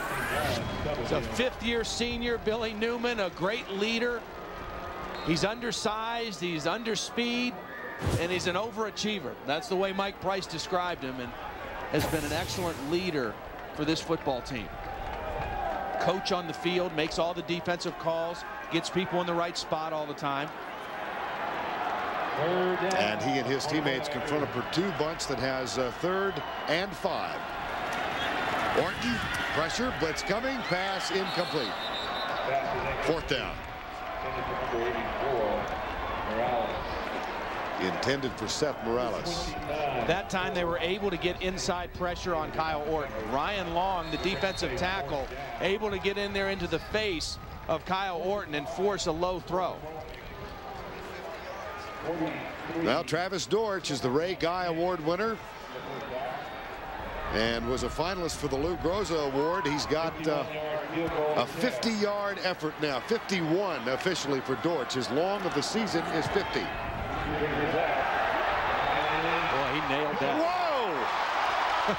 That's into the wind. That thing got up in a hurry, too. I mean, that was a high kick with lots of distance.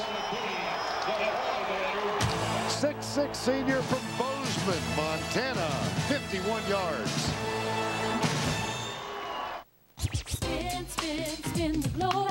It's your turn to spin the globe. Spin it, spin it, spin it. All around the world, Siemens is helping people work together, even when they're not together. From next generation internet to mobile business solutions, we're giving people the freedom to communicate better. Spin, spin, spin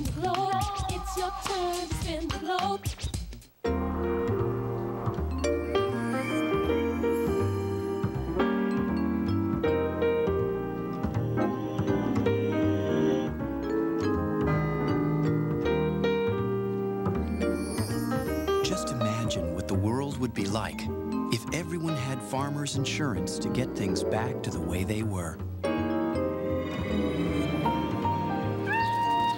Farmers Insurance. Get you back where you belong. An elephant disrupts the survivor camp. And don't miss the Super Immunity Challenge. Two episodes to go. All new Survivor, CBS Thursday. 51-yard field goal for Travis Dorsch. And he will now kick off. Coleman drifts back and takes it a yard in. He'll bring it out. He will bring it out to the 23-yard line. Nice return. Travis Dorsch, notice he's got uh, NYPD on one arm and the FDNY on the other. Nice young man out of Bozeman, Montana. He's had a terrific year as both a uh, punter and a place kicker. And that's uh, Detective Kenneth Pepe from the New York Police Department. Woody McHale, fire marshal now in Manhattan. Two wonderful guys who were friends before they came down here. They played against each other Yeah. in the Fireman uh, Police Department Amateur Football League. So they knew each other before the tragedy. And they have enjoyed themselves here in El Paso to an enormous degree and brought a lot of uh, emotional moments with them for people who had a chance to spend time with them.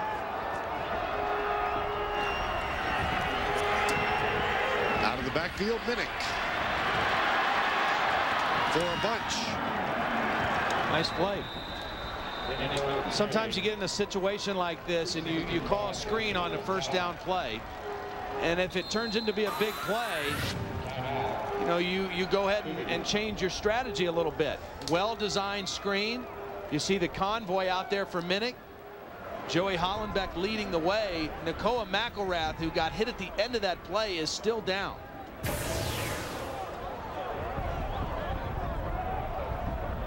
Looks to be okay, but he kind of got caught in the middle of the action right there at the end of the play. Purdue did call, uh, or rather Washington State called timeout. Nakoa trying to figure out what the license plate was of the truck that just hit him. It's Dave Minnich.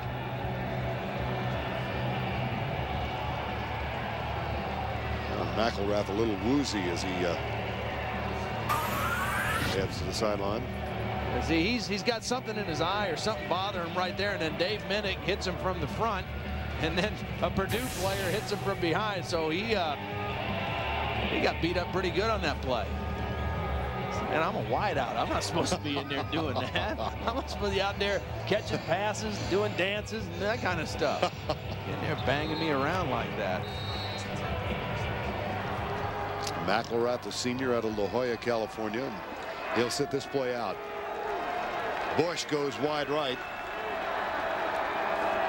Scott Lund has come in as a wide receiver as well, number 22. Here comes the blitz. Gesser steps up, hit and dropped at the 41-yard line. Speed. Akin Ayodele. Yeah, I mean, you know, they're they're in the shotgun this time, and yet Gesser's still not able to get anything going. A little twist move, and Ayodele with the pressure. Time called by the Cougars.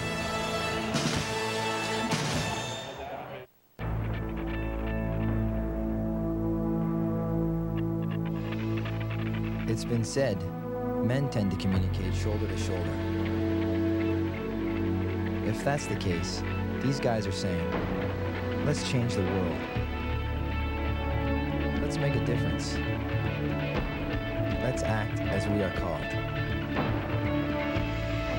The Knights of Columbus, in service to one, in service to all. 12 seconds away from the break. Washington State trailing now, having uh, jumped out to a 14-0 lead. Purdue came back and tied it up ultimately at 17 all, and then the 51-yard field goal by Travis Dorsch has given Purdue a three-point edge. Second and 15. No problem with the personnel. Yeah, you wouldn't expect that too coming out of a timeout, but uh, a little confusion. They're bringing in Jeremy Thielbar, the backup tight end now, and take a receiver out. Here's Gesser. Here comes the blitz. The pressure again, enormous. And the ball is intercepted. That that was like a punt. I mean, Jason Gesser just he just reared back and threw it almost straight up in the air, hoping that uh, it would go far enough against the blitz. But it's the pressure, the pressure that Purdue has been able to generate has frustrated Jason Gesser. Now watch, these receivers are going down the field, and Gesser's just going to launch it and see if one of them can come down with it, almost like a hail mary throw. But it hung up in the air so long that the interception was able to be made by Purdue, coming all the way across the field. Jacques Reeves, number 28, another of the Texas connection. He's from Lancaster, Texas. And his second interception of the season. Final play of the first half. Led by its defense, Purdue has roared back and taken a three-point halftime lead. Kyle Orton, the freshman quarterbacks, had a pretty decent first half as well. 2017 and they trailed at one point by 14 in the first quarter.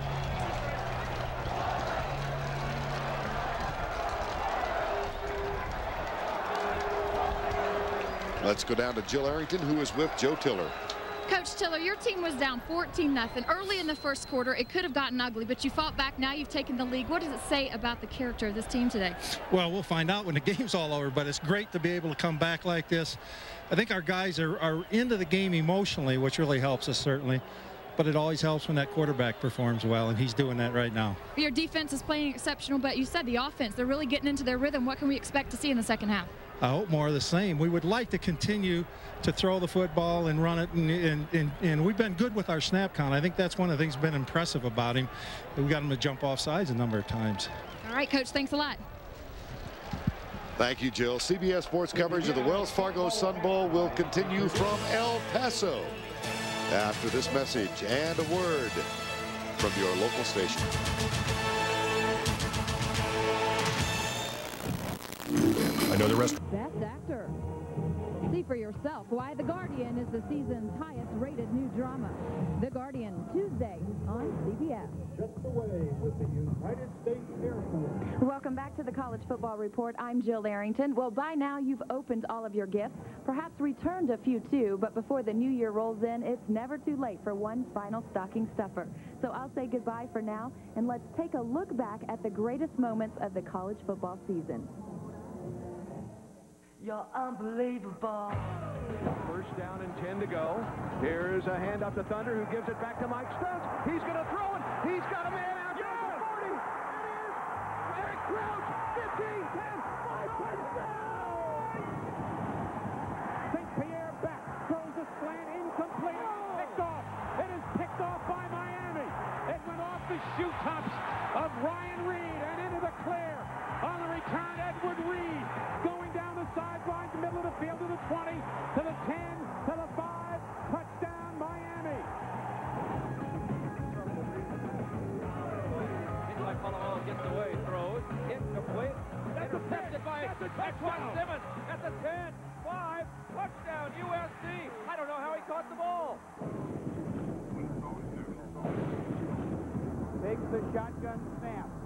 Throws to his right, wants to throw back left, and does. It is caught! It's caught by TJ!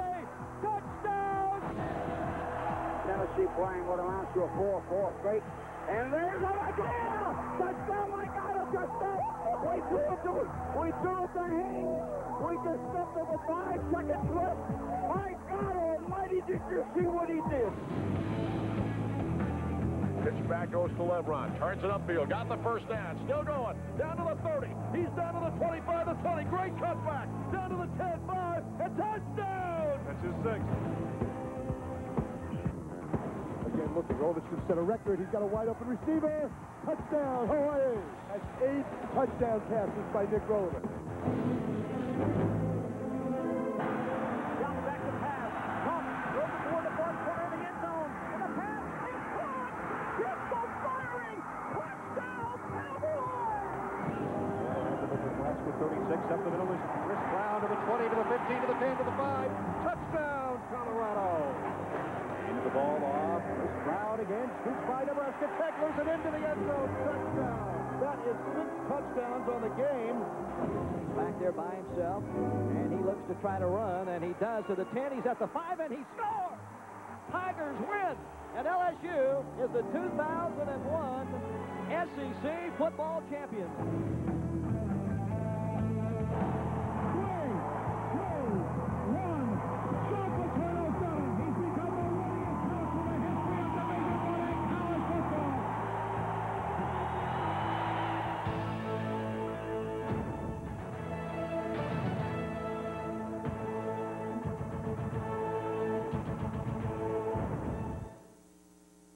Fishing Expo.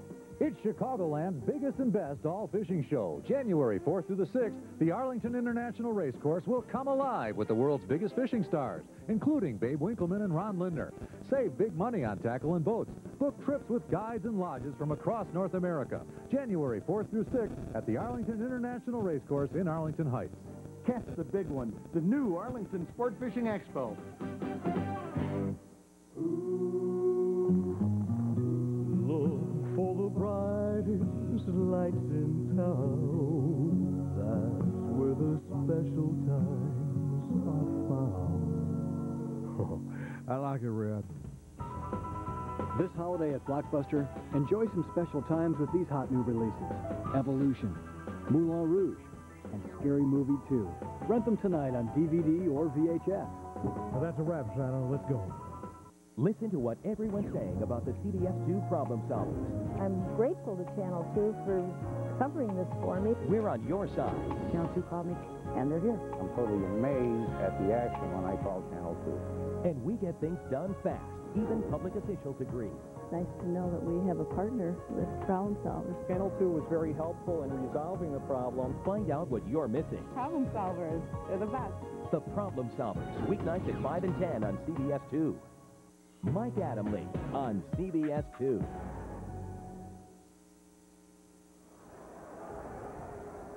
Twenty seventeen Purdue with the lead, having fallen behind by 14 to nothing. We get set for the start of the second half of the Wells Fargo Sun Bowl. Here's Holiday with a kick, and again nails it, and Purdue will take over first and 10 at the 20-yard line. And a moment ago, Andre Ware spoke with Washington State coach Mike Price. Coach, you guys came out like gangbusters in the first quarter. A big interception for a touchdown, then a long touchdown pass to Mike Bush. But then the blitz has started. What can we? What you? Uh, what kind of adjustment? what kind of adjustments That at guy half? was blitzing like crazy, and so are they. Well, it's nothing really big. They're executing just the quick outs and little flat passes, and and we're not. And uh, we can bring it in and protect, you know, seven, or we can spread them out and, and throw hot. I thought Joe. I thought Joe was supposed to be your friend. He's not supposed to blitz you this much, is he? Boy, he's blitzing like crazy, isn't he?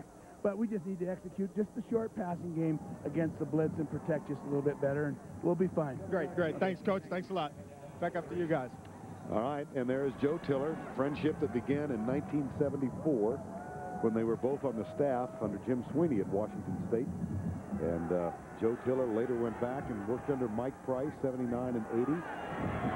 Their wives are good friends. It's uh, nice relationship between the two. Uh, just because you're friends doesn't mean that you don't compete as hard as you can. And the pass is intercepted. Orton has been picked off for the third time. This is Lamont Thompson's ninth interception of the season. and his 23rd in his career, which is the Pac-10 record. He's a free safety, but he's got great speed and size, and he's out there on a wide receiver and stepped right in front of the throw intended for Stubblefield. An excellent play by the All-American Lamont Thompson. Four Purdue turnovers, three of them have been picks.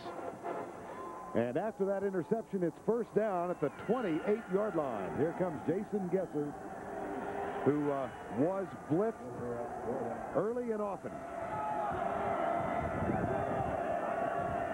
Quick flip out, left side, caught by Riley. Riley's got some room, and he is tackled inside the 20 at the 18-yard line as we get underway here in the third quarter of play. Verne Lundquist along with Todd Blackledge. And uh, the turnovers really have been uh, turnovers and defensive pressure the story. Yeah, the pressures. I mean, the teams, and Mike Price was exactly right. They're playing the same way. Both defenses are going after the quarterback. The difference in the first half, particularly in the second quarter, Purdue's quarterback, Kyle Orton, was able to handle the pressure and make plays. Jason Gesser was not able to, and we saw right away what Mike Price was talking about strategy-wise. Quicker throws to defeat the blitz. Here's a quick setup, and the pass almost picked off. That one almost went the other way. Deontay Farrell had unimpeded territory had he been able to hold on. And again, Jason Gesser picking himself off off the Sun Bowl Stadium turf at the end of that play. This is a little quick throw to McElrath, trying to get him involved in the game. It's a long throw from the left hash to that side of the field. And Farrell almost comes down with the interception. But McElrath, very, very quiet in this football game. Second down and 10. And the quick setup. That one tipped away again. It's Farrell, who got a hand up in front of McElrath. Yeah, and Jason Gesser does not look confident to me right now. He kind of double clutched on that one. He, he didn't just plant his foot and make the throw. And you see what they've been able to do to him. Only one sack, but a lot of times in his face, hurrying him, and that time he just kind of hesitantly tried to throw that one in there to McElrath. He's not in a rhythm right now the way that Kyle Orton was in a rhythm. In the red zone this season, 30 touchdowns, 11 field goals. Third and 10, blitz coming, deep in the corner. McElrath is there and can't make the catch. Well, they had what they wanted. They had the matchup. Their top receiver, McElrath, against a strong safety, Deontay Farrell. This favors the wide receiver, and he runs right by Farrell. It's not even close, but Gesser just a little too far on the football. And again, he is just not as sharp right now as I've seen him earlier in the year. Drew Dunning will try for the tie from 34 yards out. And he has done it. Second field goal of the game for Drew Dunning. And the interception leads to three. We're tied at 20 to go in the third. Washington State with an early score to tie it up. Notched in 20, and uh, WSU getting ready to kick off. Here's Holiday.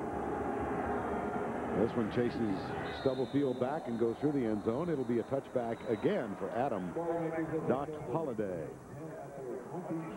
Now coming up Sunday, doubleheader for you. The NFL on CBS, five games early. Many of you will see Jacksonville at Chicago. And then three games late, the Jets go into Oakland. Buffalo will be at Miami and Kansas City at Seattle. And it all begins with the NFL today.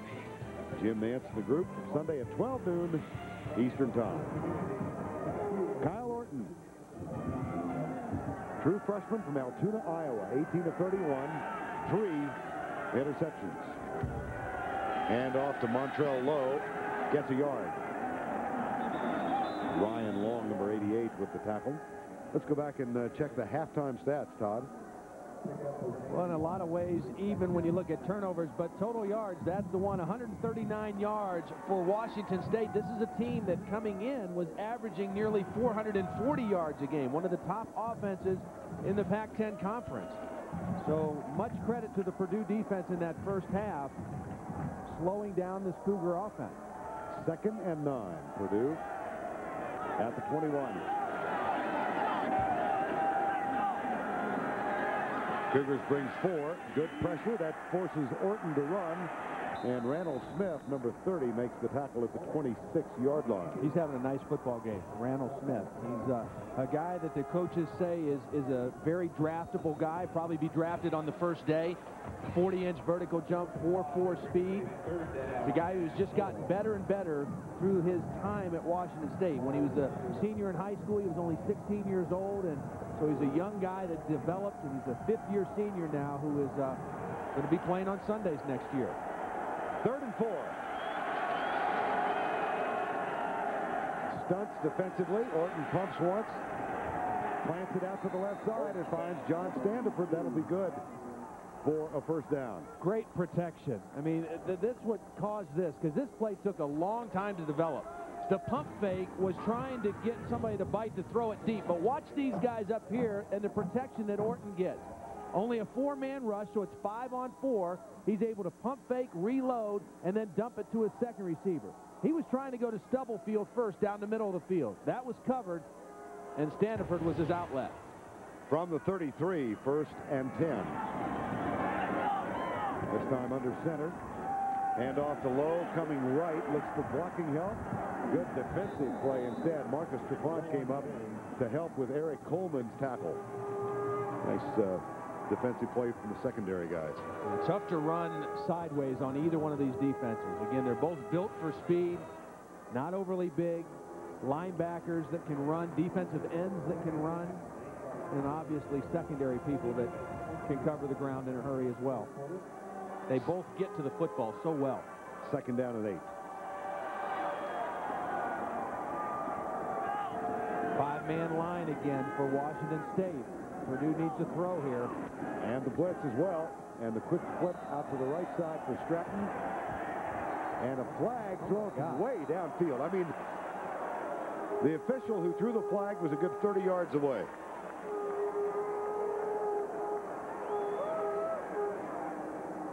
That's the back judge. Defensive holding. Well, it was Billy Newman defending on the tight end Stratton, and it looked like there could have been some holding, but my goodness. on the defense, 10-yard penalty, automatic first down. Guy must have had LASIK surgery. I drank some carrot juice this morning. One or the other. Good eyes from a long, long ways away. Tom Compton made the call. Mike Price wearing the cap of the Fire Department of New York. He's got uh, the Fire Marshal Woody McHale on the sidelines with him. First and 10 at the 45. 2020. Speaking of vision. That's a reach. Hand off low.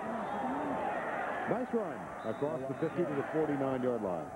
That's a gain of six. James Price with the tackle. Again, we talked about that height, whether it's real height or program height, but he's short and he's stocky and well built, and he's able to kind of just hide in behind there and squat down and find little creases and, and bounce in there for nice gains, just like that. That was a nice run on first down.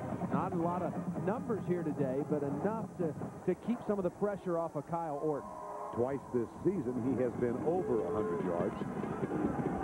And 14 for 24 today. Out of the spread again on second down. Orton finds, oh, dropped by Standeford. Right in the pause.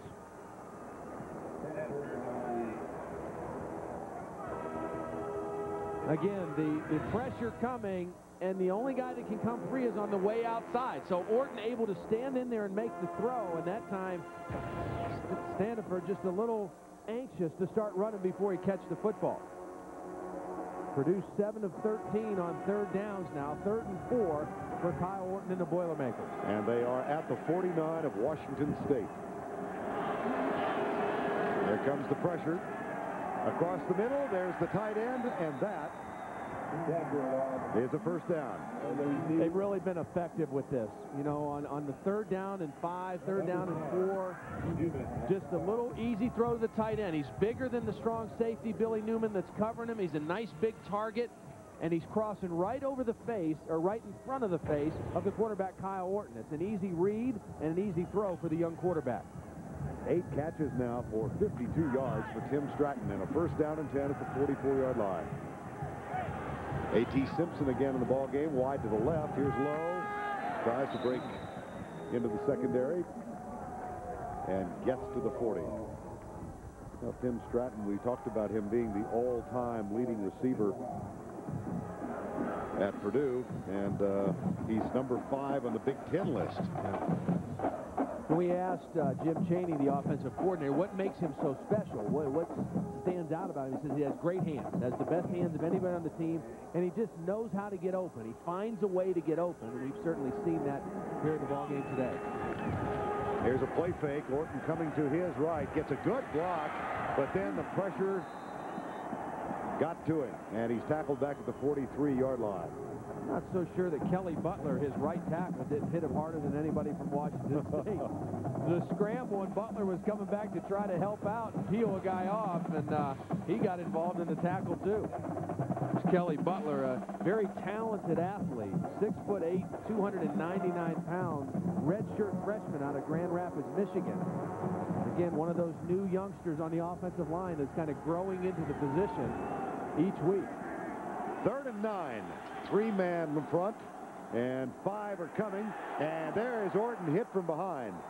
That's an incomplete pass, and he was belted by Billy Newman on the blitz. Yeah, one of the few times that Kyle Orton didn't know where the pressure was coming from. It's going to come from his backside, and he has no idea it's coming. He thinks he's protected. He thinks he's okay. Has no idea that Billy Newman is bearing down on him. So a nice job by the Washington State defense coming up with the big third down play. And their sky punter, the short punter, Scott Kurz, is in for the second time today.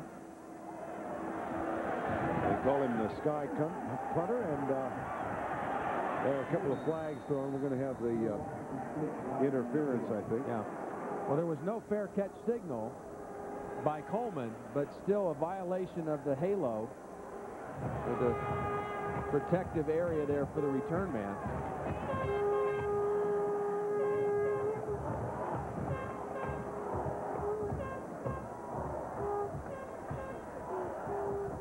It's appropriate that the uh, Conference USA officials would have a conference. Tim Upshur was the guy that was down there in the wrong area, number 48. Looked like he was trying to catch the punt. no, you're not allowed to do that. I want it. First down, Washington State. If you needed money to make money, how soon could you get it? Presentation of the Wells Fargo Sun Bowl is sponsored by Wells Fargo Bank. www.wellsfargo.com. Knights of Columbus. In service to one, in service to all. And by Aflac. Ask about it at work. Tied 20-20 in the third quarter from the Sun Bowl in El Paso. And again, the pressure on Gesser. He throws it a little too high, and had Bush wide open.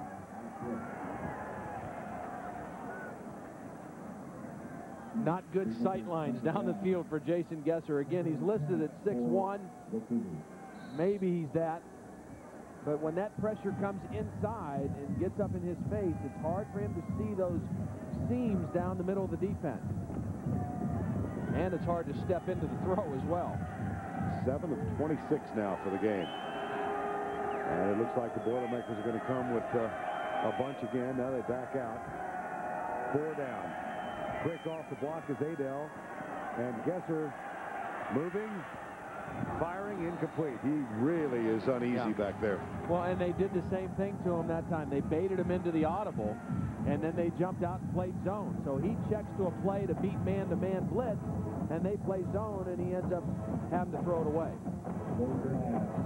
Cougars trying to become a 10-win team for only the third time in the history of the school. They accomplished it when they went to the Rose Bowl under Mike Price back in 1997. They also accomplished it in 1929. They come in 9 and 2, and they look at a third and 10 here. Out of the gun, here comes the blitz. Gesser. and that should throw. There's the flag. Yep. Landon Johnson was draped in the back to the intended receiver. Yeah, contact too early. The right hand was over the back of the intended receiver, Theobar. Take a look. Here it is right there, Landon Johnson. The right hand is wrapped around the receiver. And Jason Gesser, I mean, he'll take a, a conversion any way he can get it now. They were one for nine on third down before that play. And coming into the game, they were the second best team in the Pac-10 on third downs, con converting 41%. So it's hard to stay on the field and generate much offense if you can't convert on third down. Only one sack, but the pressures and the hurries are significant. Here's the pass right side, caught. And out of bounds at the 35-yard line. That's Nakoa McElrath, and that is his first catch today. And Nakoa didn't get the start today. Uh, was a little uh, critical of the play calling in the Washington game. And, uh, you know, Mike Price lets his guys speak to the media, gives them a lot of freedom. But when they cross the line, uh, there's a price to be paid. And his price today was to not start. He's been in the game a lot, but that's the first time that he's been able to get his hands on the football. Ooh, Price says he's got a price to pay. Second down. Handoff. John Tippins, number 25, on in relief of Dave Minnich. And uh, tackled at the 39-yard line. It might be a good time to try to throw a screen again to, uh, for Washington State. They've had some success running the screens against this pressure defense. Matt Kegel signals a play in, having uh, gotten the desire from Mike Price, the, the play selection. Third down and two. 20-20 ball game.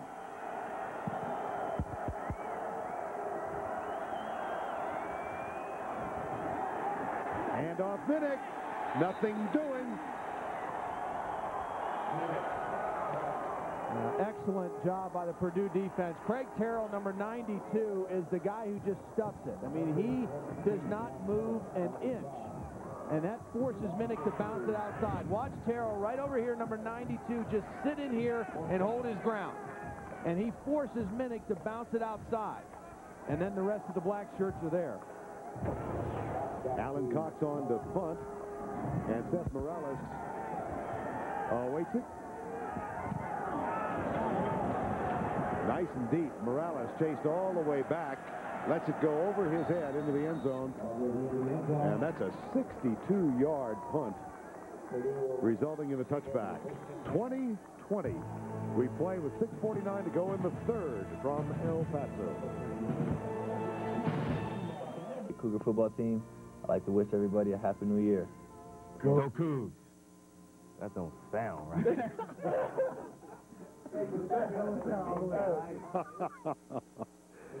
oh, goodness. Meanwhile, we're, we're back to play. Here's a handoff and big trouble.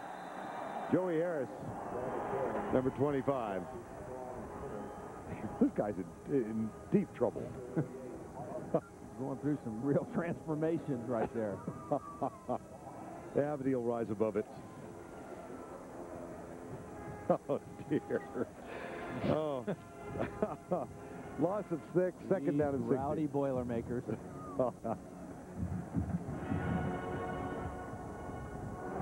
second and 16, 2020 ball game. 6-10 to go, third quarter.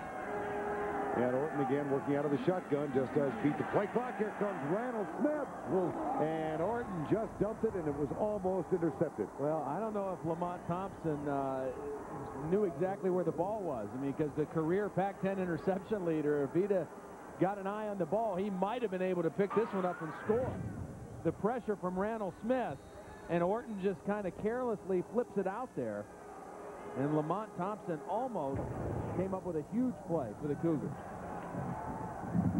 Third and 16. Sun tries to break through the clouds, the overcast skies. 6.03 to play. Here comes the blitz again. Orton got him. Sacked and dropped at the eight-yard line. Billy Newman, yeah. Number 10. Good coverage downfield. It was not a full-scale blitz. They only showed a three-man rush, and then they brought one and dropped out. Here's the three-man, and then Newman is going to come from the corner and get Orton. Newman comes off the slot, and Orton not able to avoid him. He's got two sacks today now, Billy Newman. Travis Dorsch, they come after him. Don't block this one. And Eric Coleman at the 48 comes to the left side. Doesn't have much blocking help. Actually loses yardage across the 50 to the Washington State 49-yard line. Sean Phillips, 40-yard punt, minus two on the return. You just got to keep your head about you. Every time, every now and then, you need a little kick in the butt. Um, just be the right person overall, and I, and I think uh, I thank him a lot for uh, everything that he's done. Jason Gesser, who said he uh, spoke with Jack Thompson on the phone yesterday. Jack now living in Seattle, not here for the game. Here's Gesser back to throw. Screen pass, left side. And they have found Dave Minnich out of the backfield, number 34. That's a gain of 11. You got to do some things to take some of the steam out of this Purdue defense. Mean, Akin Ayodele is so quick off the ball. Watch him coming off the corner here. I mean, he beats the block. He's off the ball. Do something to slow him down. The screen is a perfect way to do that. Invite the rush in and then get a little blocking out there and throw it to your back. Do some things to offset that aggressiveness of the defense. Now Gesser and the Cougars will go from the spread on first down at the Purdue 40. Again, the blitz, the quick one. That's caught by Riley. Little crossing pattern underneath, and Riley inside the 15 and hauled down at the 9. Best throw that Jason Gesser has made in a long time. He knew the blitz was coming. He stood right in there, and he delivered the ball right where it needed to be. beat Reeves on the coverage. Jerome Riley, the coaches told us over the last few weeks of the season, he was the best receiver, the most productive receiver they had. A junior out of Arleta, California. That's five catches for him today. And a first and goal from the nine in a game that's tied 20 all.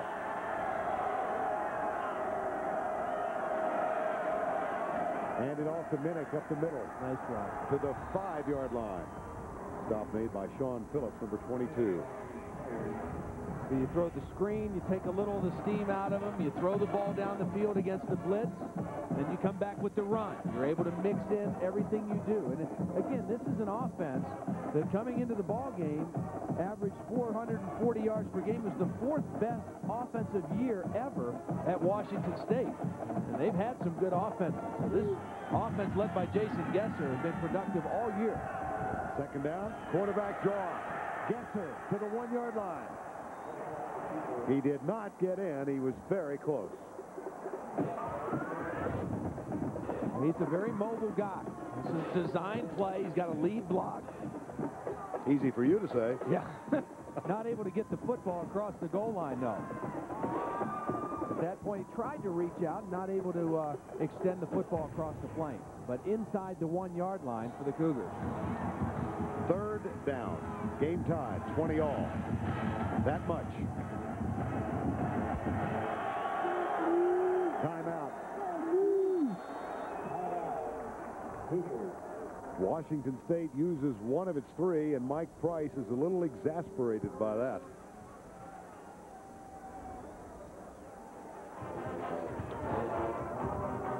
And uh, let's check in with Jill Arrington.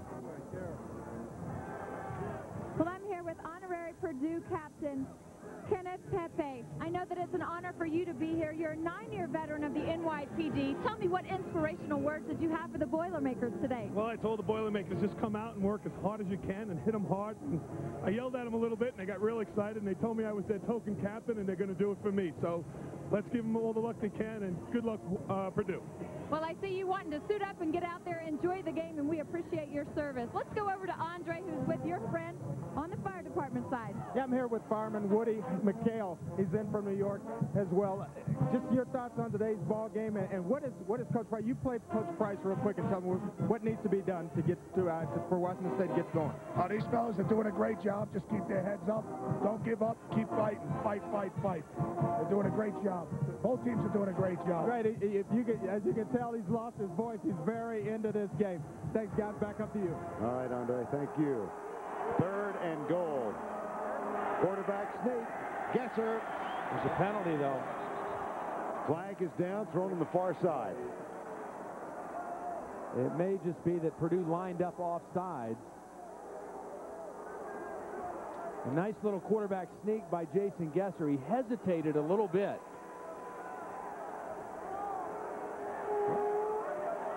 And Now Conference USA is holding a meeting again. There we are, touchdown. Gesser on the quarterback sneak.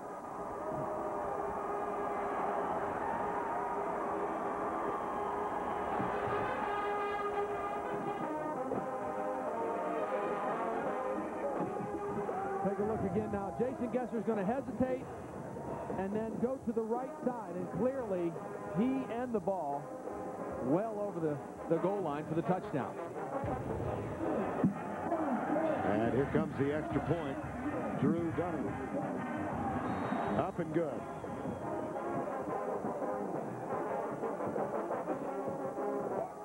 Washington State has broken the tie. They're up by seven. And then Stubblefield with a three-yard touchdown catch. Extra point was good, and Dorsch just before halftime into the wind from 51 yards away. It was 2017 at the half. Dunning with another field goal tied it up at 20 all, and then just a moment ago, Jason Gesser from a yard out. The extra point good, and Washington State has reclaimed the lead. 3.04 to go, third quarter. Holiday with the kick. And again, boy, what a potent weapon that is on special teams. He nails it, touchback. Purdue will start from the 20-yard line. In the Seattle Bowl as we uh, give you a recap of bowl games played thus far. Alabama won. A&M over TCU 28 to 9. Don't know that there's been a better game played than Texas and Washington. Major Apple From the 20, 27-20, Washington State. Joey Harris in the backfield now. And Purdue goes deep for Standeford. Adjustment in the battle for the ball. Lamont Thompson was covering, and he was doing so well. I'm impressed with Lamont Thompson. I mean, he's a free safety. He's a big, rangy guy, 220 pounds, and he's able to get out there and make plays on wide receivers out in the open field. The guy who making his 34th start in his career today. Sat out last season, had a neck injury, and, and just took the whole year off to recover from it, and came back for this his uh, his senior year, actually his fifth year, and had a great year. Second down from the 20, second and 10. Quick flip left side. Standeford has the grab, and uh, he is driven out of bounds at the 27-yard line by Eric Coleman. Washington State's flying around a little more here in the third quarter. and their defense is getting after them a little bit more. The pressure is getting to Kyle Orton a little bit more. Bill Doba, the defensive coordinator, able to kind of get his team settled down there at halftime, and they have uh, they've played very well here in the third quarter. Third and three.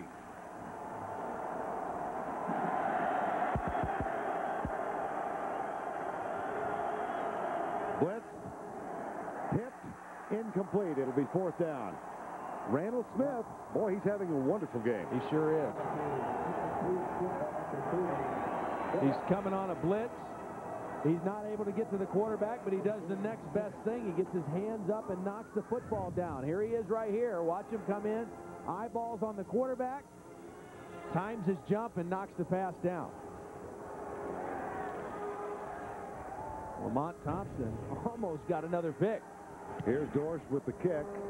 Coleman is back, awaits it, grabs it at the 34-yard line. He's got some room. And forced out of bounds across the 45 in the Washington State bench area at the 47-yard line. Well, Kyle Orton, starting his third game ever, looked very strong in the second quarter. Yeah, he started out three of nine. This was early, and then he started to, he had the interception to Jason David. Then he started to get on track. Found Taylor Stubblefield a couple times. Hit him with the touchdown. and But then here recently another interception to start the third quarter to Lamont Thompson and, and has not looked as sharp here in the third quarter as he did in that second period. First down now, 27-20, Washington State with the lead. Gesser and Purdue with a delayed rush. Gesser goes deep left side. Got McElrath. Nice pass laid it out, and McElrath with the grab.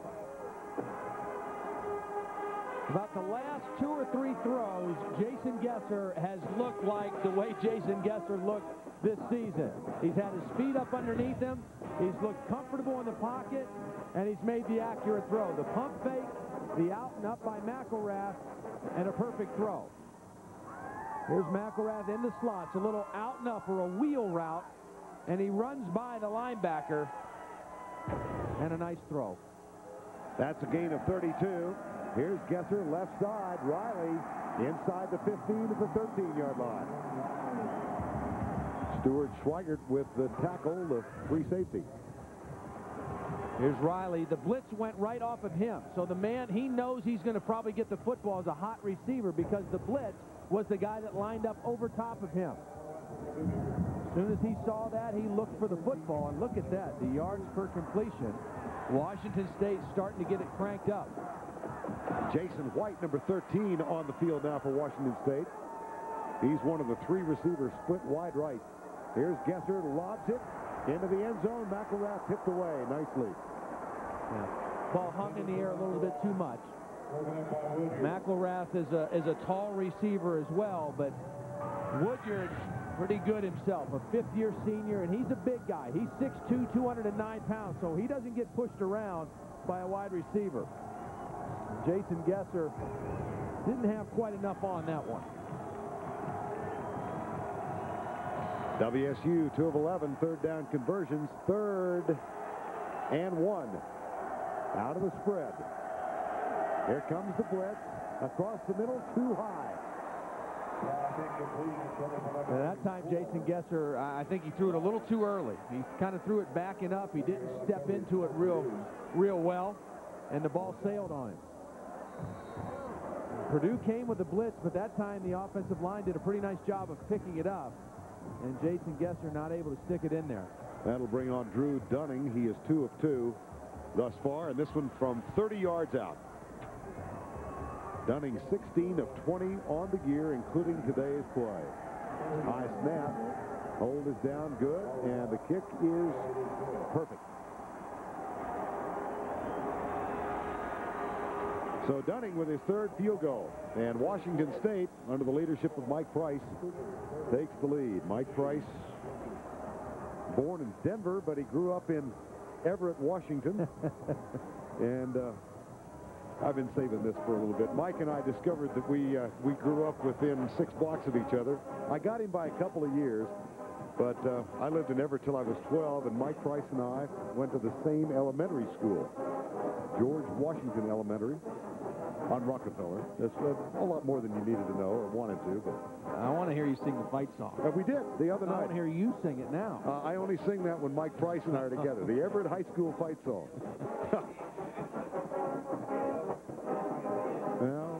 Mike Price uh, went to Everett Junior College where his dad was a coach and then uh, played at Washington State. He ultimately transferred to the University of Puget Sound and uh, completed his athletic career there has been the head coach at Washington State for the last 13 years, and he and his wife Joyce, just a wonderful couple. They met when they were in the first grade.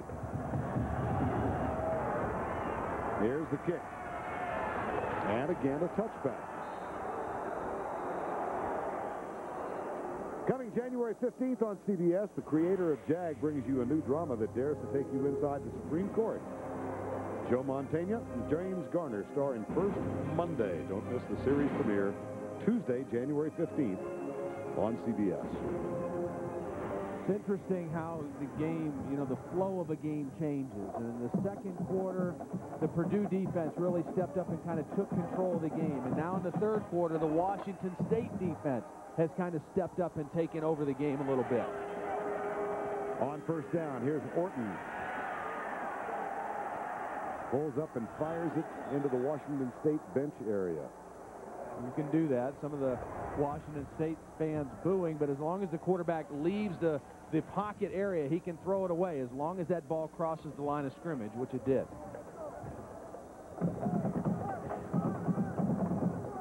Talked about him going to that Elite 11 quarterback camp in California. He had already committed to Purdue before he went, and Drew Brees was one of the counselors at that camp, and he just got a chance to kind of hang out with Drew the whole week and pick his brain and really learned a lot of football that week from Drew Brees.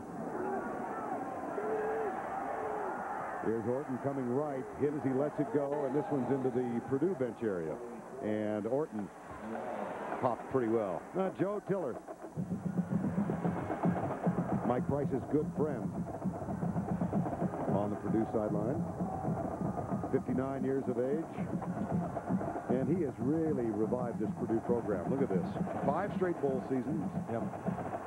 And uh, they were in the doldrums for a decade or more. And the expectation levels have changed at Purdue because of Joe Tiller. I mean, he came in and won right away. They won a Big Ten championship sooner than anybody thought. There's the rush. Flags are down. Orton with a free play goes deep, and it's tipped away at the last minute. At the 40-yard line, tipped away by Jason David, intended for Morales. I think the penalty is going to go against Purdue, a holding penalty. Penalties declined. Fourth down.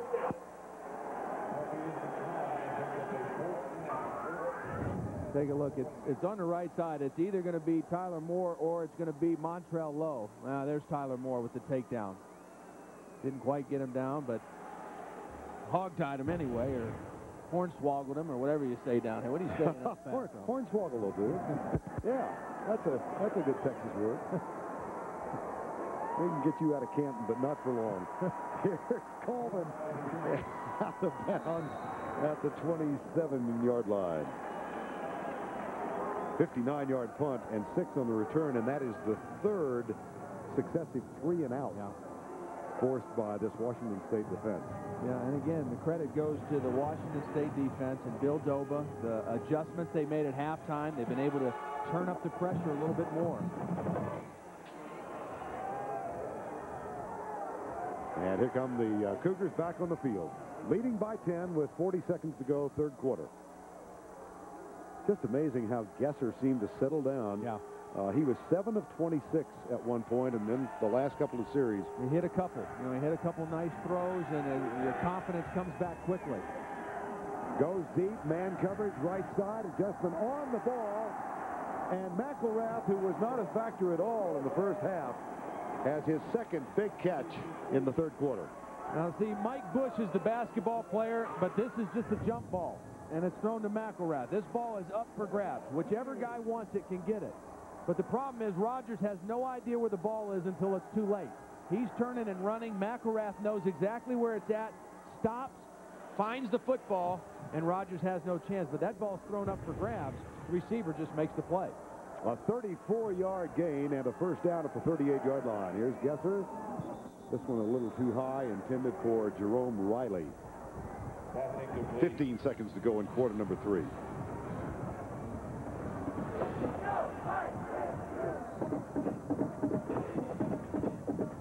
Nakoa McElrath, three for 70 yards in this ball game.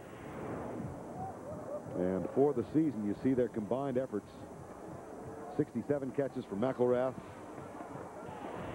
45 for Bush. Yeah, both nine touchdowns, and they both can go up and get the football in the crowd. Second and 10, reverse. McElrath goes right. He's weaving his way inside the 30 and down at the 25. That's a gain of 13. And Washington State is assuming control of this game. A little reverse. We haven't seen this from Washington State. Another way to take some of that aggressiveness away from a team. Jerome Riley, another wide receiver with the block, but a well-designed play to end the third quarter for Washington State. That is the end of three with our score 30-20 Cougars. We'll return to El Paso, Texas and the Sun Bowl right after this message and a word from your local station. Here's your chance. Introducing the Blockbuster Great Games Giveaway. Come in today for your chance to win one of 1,000 of the hottest game systems around. Xbox, GameCube, PlayStation 2, or Game Boy Advance. All you have to do is rent or buy anything in the store, and you're automatically entered to win. It's the Blockbuster Great Games Giveaway. Blockbuster, open on New Year's Day. CBS 2 works for you. Dr. Michael Breen. Bringing practical experience and real medical expertise to you. We're working for you by separating the facts from the fads. And making complicated medical news more understandable. When it comes to your health, CBS 2 works for you. As the Bears roll towards the playoffs, lock into CBS 2. Mike Adamle has the inside line into our Chicago Bears. CBS 2 works for you. New Year resolutions, celebrity news scenes, and star weddings. Next DT. 7,812 on a cloudy day and chilly as well. We begin the fourth quarter and Washington State leading by 10, 30-20 and threatening. Gesser, quick back up, left side. He's got McElrath open and McElrath out of bounds at the 20-yard line. Washington State trailing at the uh, at the halftime by three. But Todd, they really grabbed this thing by the throat here. Yeah, the they quarter. did a great job coming out of the locker room. Special teams got them good field position the whole quarter. Defense stepped it up, really took charge. And then the offense kind of responded, and they outgained Purdue in that third quarter, 157 to 29. So they've really assumed control of the football game here in the second half. And threatening now with the second down and five. Gesser looking right, goes deep right side, and that one is intercepted in the end zone. Rogers Antoine Rogers. Well, this was a bad decision by Jason Gesser. He thought he had single coverage, man coverage, and it was really not man because Rogers was just kind of drifting back there, and he came off of the early or the inside route and just drifted back with the quarterback. Watch, this is Rogers. Now, he's not going to stay with Mike Bush. He's going to keep drifting back on this corner route. He doesn't stay short. He reads the quarterback and drifts right back to where the football is and makes the interception. Gesser thought he had single coverage to McElrath, but he ended up throwing into double coverage. After the turnover, ball at the 20. Here's Orton back to throw. He's going deep. Way downfield for Standeford, tipped away by the All-American Lamont Thompson. He's really a good player. Yes, I mean, he he, he's a fun guy to watch. I mean, he's a rangy guy.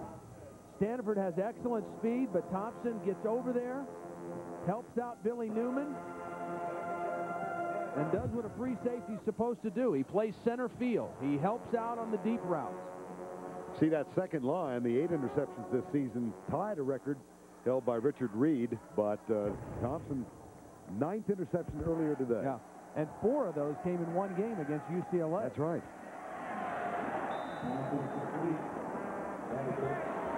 Standeford gets the uh, grab five yards out to the 25-yard line. That's going to set up a third down. Big play right here for Kyle Orton. You know, the, the defense comes up, makes a play.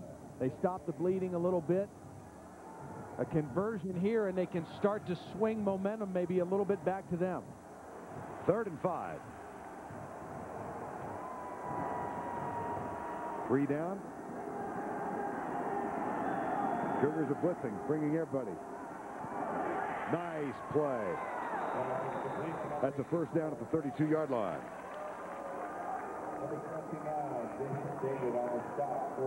Seth Morales with the tackle, number 84, with the uh, catch rather, number 84.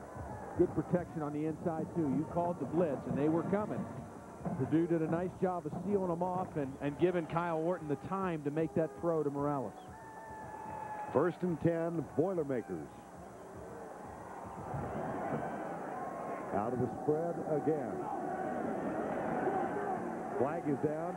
Orton chased right by Noway, the middle linebacker, and the pass incomplete. Now we'll check the uh, check the penalty. Flag on the play.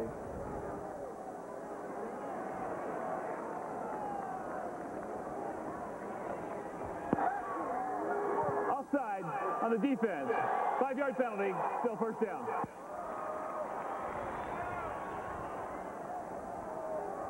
First and five. Iowa over Texas Tech in the Alamo Bowl. And uh, Syracuse convincingly over Kansas State. A couple of games coming up after this one. Washington State, uh, not only a big game for their school, but kind of carrying the banner for the Pac-10 right now. The Pac-10 0 for 3 in bowl games right now.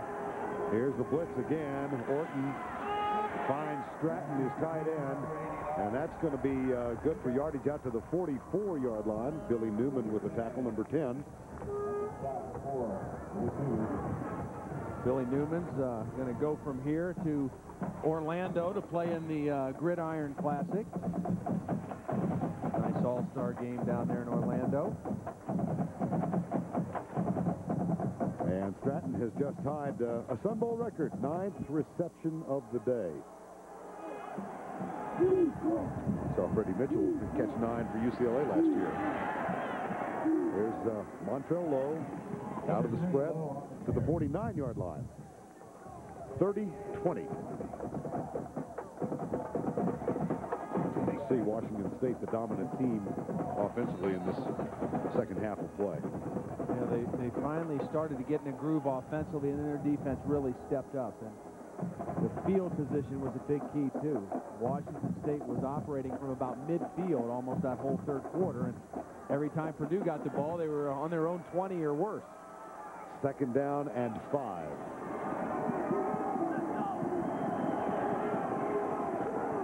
Orton tried to throw, couldn't sack. Isaac Brown, number nine, got there. These guys are not very big, but they are quick. I mean, Isaac Brown is the defensive end. And he's rushing right here, number nine. He's kind of following the quarterback, and then when he sees him vulnerable, he goes and gets him. He's a defensive end who only weighs 220 pounds. So he's got to utilize his quickness and speed to make plays. Third and nine following the fourth sack of the afternoon. Orton across the middle. He's got a wide receiver. double field inside the 40 and a first down. Purdue. Gain of 23. That time, Washington State chose not to blitz. They had guys up there showing blitz, but they dropped out into zone. And that enabled Kyle Orton to stay back there and find the crossing route. Under 12 to go. And a first down 10 now. Noel breaks out wide to the right side.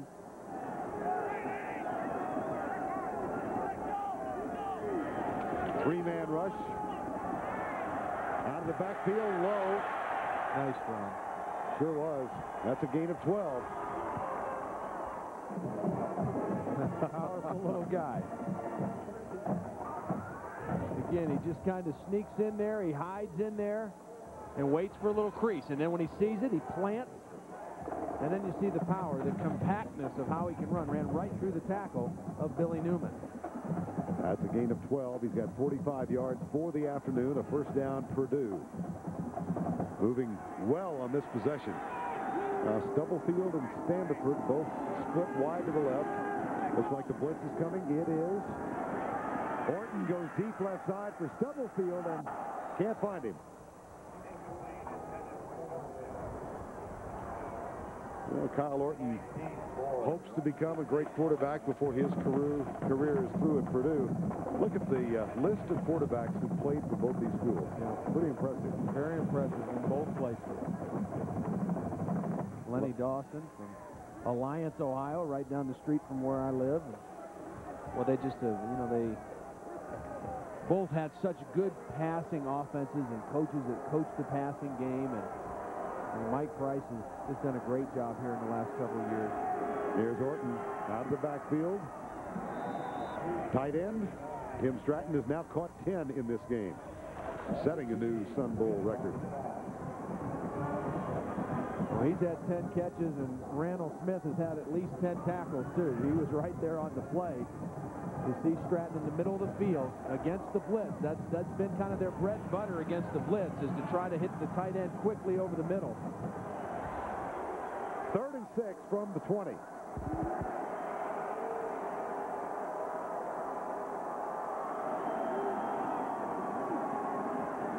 Orton goes deep, has a man. Picked off. It's Lamont Thompson with his 10th interception of the season, second today. Oh, Kyle Orton wishes he had this back because if he did, he'd have put this one on a string instead of floating it. He was going for Stubblefield right down the seam, and he doesn't see Lamont Thompson just hanging back there. See, he sees it open there. If he drills it, maybe he sticks it in. But because the ball kind of hung in the air, it enabled Lamont Thompson to do what he does best, make interception. Big play for the Cougars. 112 inside the Sun Bowl, and a couple of guys who decided to uh, take the less expensive route. That's a that's a long climb. Yeah. On first down, Gesser is popped as he lets it go, and it is caught at the other end. Wow! McElrath with another big play in the second half. Just watching the change in Jason Gesser. I mean, balls that he threw earlier in the game under pressure that didn't look like they had a chance. Now, same kind of throw up in the air, but you cannot throw it any better. They went after the best corner, Woodyard, but you just can't defend a throw like that. A 41-yard gain, and Gesser was under terrific pressure when he let the ball go. First and 10 at the 39. Left side, Dave Minnich. And he busts loose inside the 30.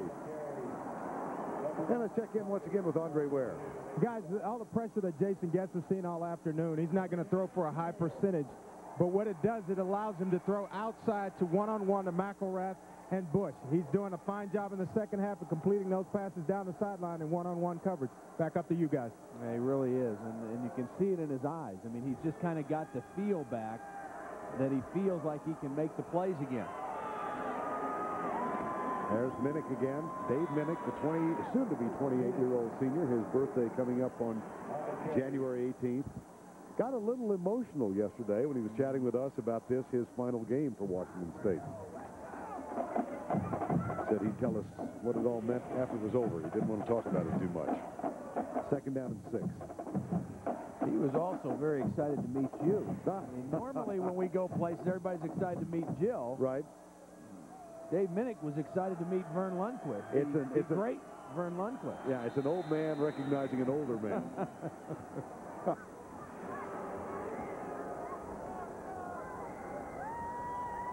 Yeah, we, uh, Todd and I travel the country. Uh, Defense, offside, five-yard penalty, still second down.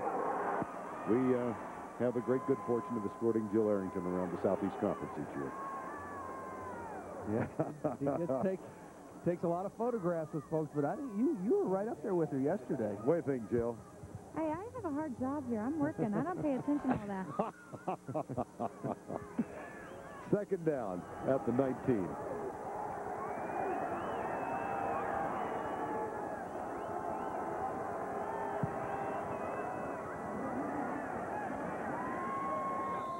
You know what's amazing about this Washington State football team, and, and we talked to Mike Price about it, is they're so different than the team that went to the Rose Bowl in 97. The team that went to the Rose Bowl had one injury the whole year. Right. Same starters all the way through. This team hasn't started the same 22 guys in two consecutive weeks all year. They averaged 58 players a game, which is an incredible number uh, just because of so many people that got hurt and the way they had to change. But he said it's been the most resilient football team he's ever coached, and they just found ways to win. It, it was totally different than when they had their great year in 97, but the numbers very, very similar. Now trying, as we said, uh, to become the third team in Washington State history to win 10 games. Did so in 1929, the Rose Bowl team that lost to Michigan in 2000 or 1997. And uh, then this team could become the third team to win 10. I don't know who the quarterback was uh, in that Aloha Bowl on the other side, though, that Washington State beat. I, I think his name was Ware or something like that. There's a bubble. And uh, when they unravel people, we'll see where the ball is spotted. Fourth down. Who keeps the ball? Come back on. Andre, did you play against uh, Washington State in that Aloha Bowl? it was the worst afternoon of my football career, Todd. I, I, mean, it was a terrible afternoon. But give give credit to uh, to Washington State. They played outstanding that afternoon. Andre didn't have many bad days as a Houston Cougar. That's, that's for, for sure. Here's Dunning for the field goal attempt. The hold is down. The kick is up, and it is perfect as he has been today. Drew Dunning from 37 yards out, and that increases the Cougars' lead. They're up by 13. Of the Wells Fargo Sun Bowl is sponsored by Wells Fargo Bank. www.wellsfargo.com. America Online version 7.0. There's never been a better time to get online. And by the United States Army, an army of one. 7.37 left in this one, and Washington State up by 13, 33-20 in the 68th annual Sun Bowl in El Paso. Five of seven kickoffs have been touchbacks. This one into the wind will be returned for Holiday, and uh, Stubblefield brings it out to the 23-yard line.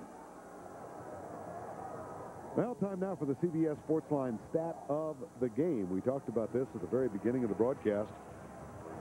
Forced turnovers, both teams capable of, of uh, takeaways, but who could capitalize with points off those turnovers. And you see Washington State 20 points on the five, and Purdue Only seven on the four. Get complete bowl game stats at cbs.sportsline.com or America Online, keyword CBS Sportsline. Comes left on first down. Standeford makes the grab. Marcus Trufant misses the initial tackle, and then James Price catches up with him. We've called his name a lot. Lamont Thompson, the free safety out of Richmond, California, has had a nice ball game. Two interceptions. He's had about 10 tackles in the ball game. He's knocked down several passes. This pass complete to Standeford across the middle for the first down. And there is uh, Lamont Thompson in his uh, final game for Washington State. Nine tackles today, two interceptions. First down, 10, Purdue. Bring this one back, a flag thrown on the far side of the field.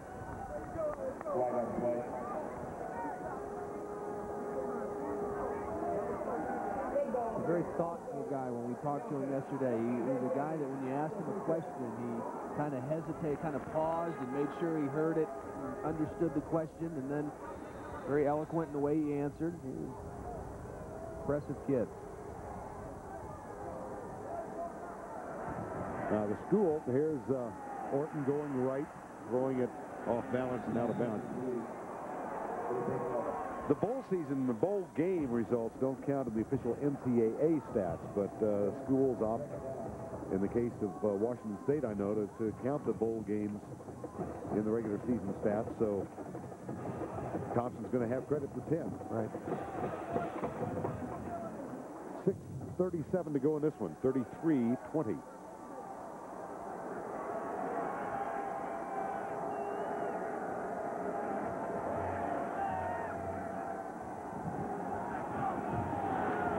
Orton.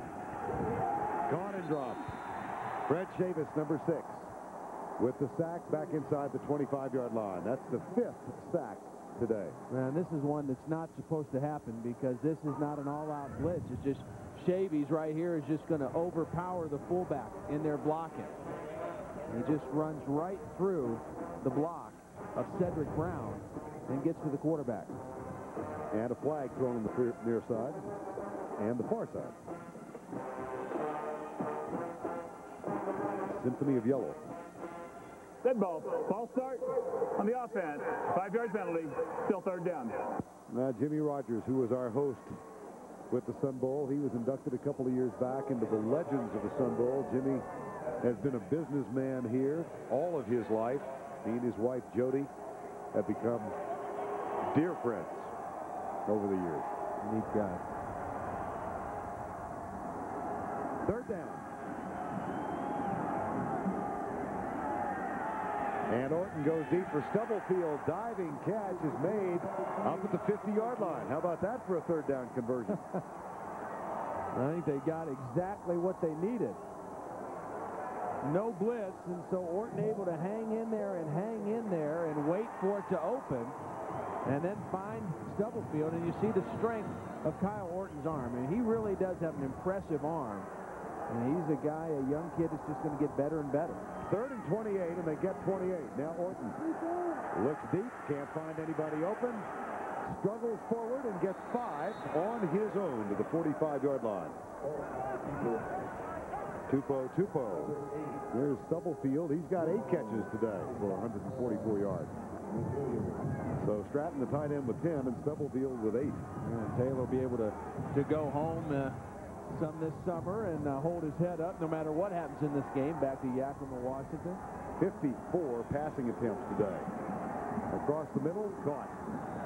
Remember when Drew Brees threw for 83 yeah. times in a game at Wisconsin, and the Purdue guys were threatening us with trying 85 passes today. Well, they're encroaching on that figure. You know, the, one of the ironic things about that game when he threw 83 times, too, Tim Stratton, the all-time leading receiver at Purdue, only two games in his career he never caught a pass.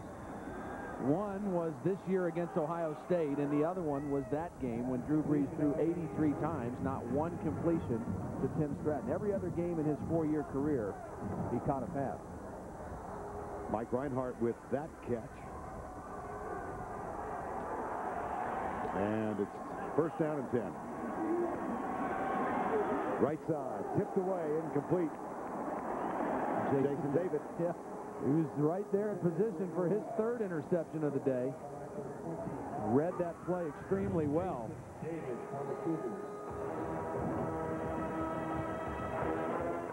Kevin Knoll, the intended receiver. Second down and 10.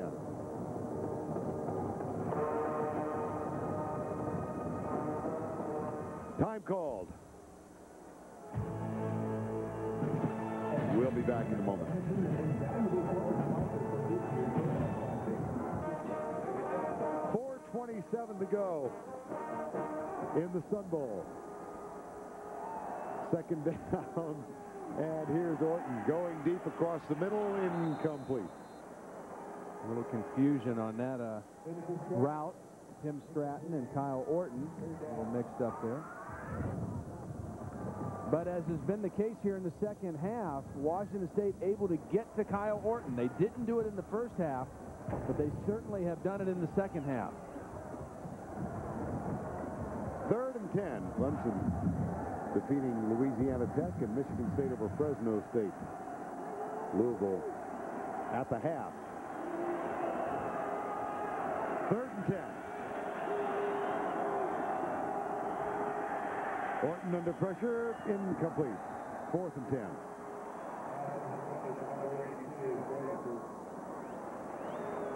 John Standeford, the intended receiver. Joe Tiller came out of Toledo, Ohio. Said he wasn't uh, offered a collegiate scholarship, athletic scholarship at a Big Ten school, and was offered one at Montana State in Bozeman. So he uh, took up that opportunity, graduated from Montana State, began his coaching career late 60s as an assistant there.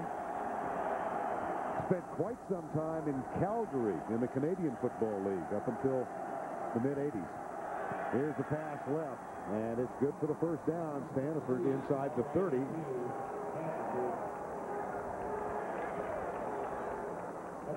Joe, now 59 years of age, he and his wife Arnett have some property in Buffalo, Wyoming.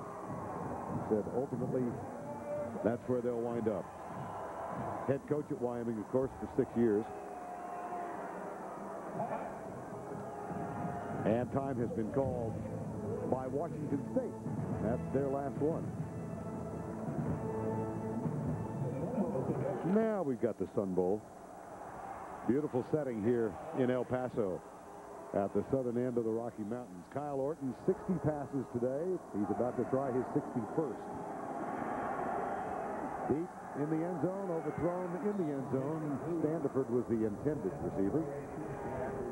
I don't know that this is exactly what Joe Tiller wanted to get back to with the Purdue offense, but I know this is more what he's comfortable with, throwing the football. Early in the year, they they were a little more conservative. They thought they'd be good on defense, thought they'd be good in the kicking game, knew that they were going to be young on offense, so they tried to play a little bit differently. But here, ever since they've gone with Kyle Orton, they've been airing it out again. He threw it 64 times in his only in his first start against Indiana, 52 times against Notre Dame, and now he'll break all those records today.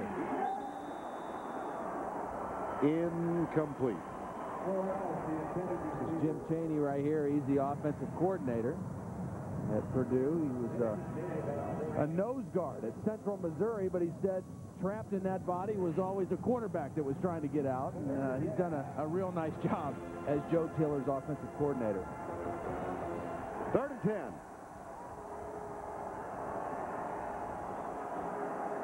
Four wideouts.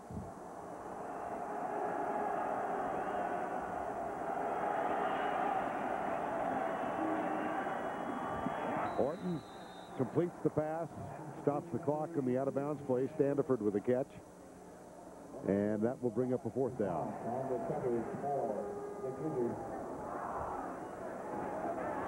Fourth and one.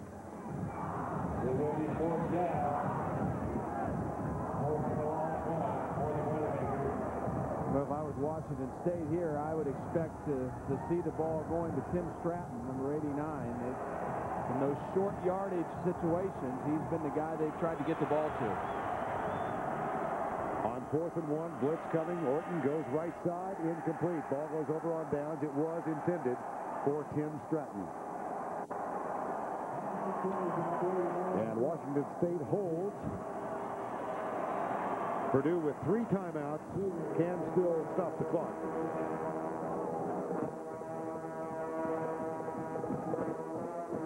And the Cougars from Pullman, Washington. Under four minutes away from capturing their 10th victory of the year.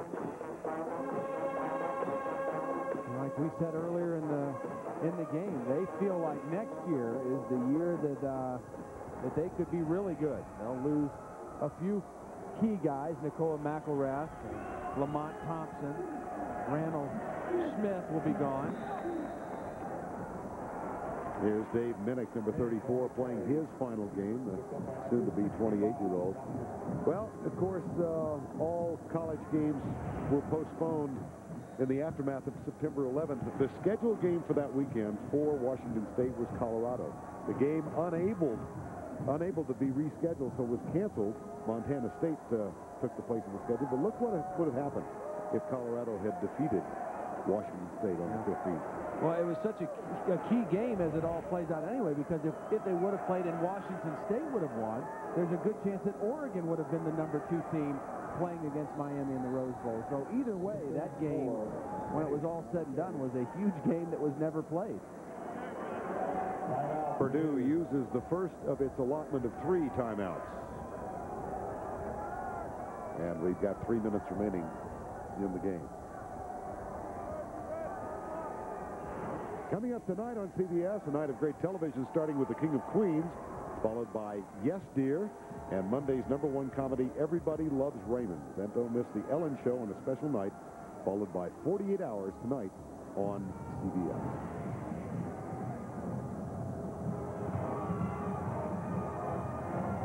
Well, those of you who are Cougar fans probably have already uh, become aware of next year's schedule, but they'll open with Nevada and Idaho, then at Ohio State, Boise State, then they get into Pac-10 play, and uh, finally conclude the season at Hawaii. You know, going back to that game that was canceled with Colorado, and Mike Price talked about, you know, one of the things that, that he was upset about that as much as anything is that they don't often get those big teams that come into Pullman to play. But that was a game that was supposed to be played in Pullman. And uh, uh, obviously a game they would have had a great chance of winning. But uh, Mike Price got a nice football team. They uh, on their way to winning their 10th game this year and uh, maybe even better a year from now. 33 of 64 for Orton. 15 of 39. And uh, guess who's going to put it up again? That's a bit of a surprise. Flag is down.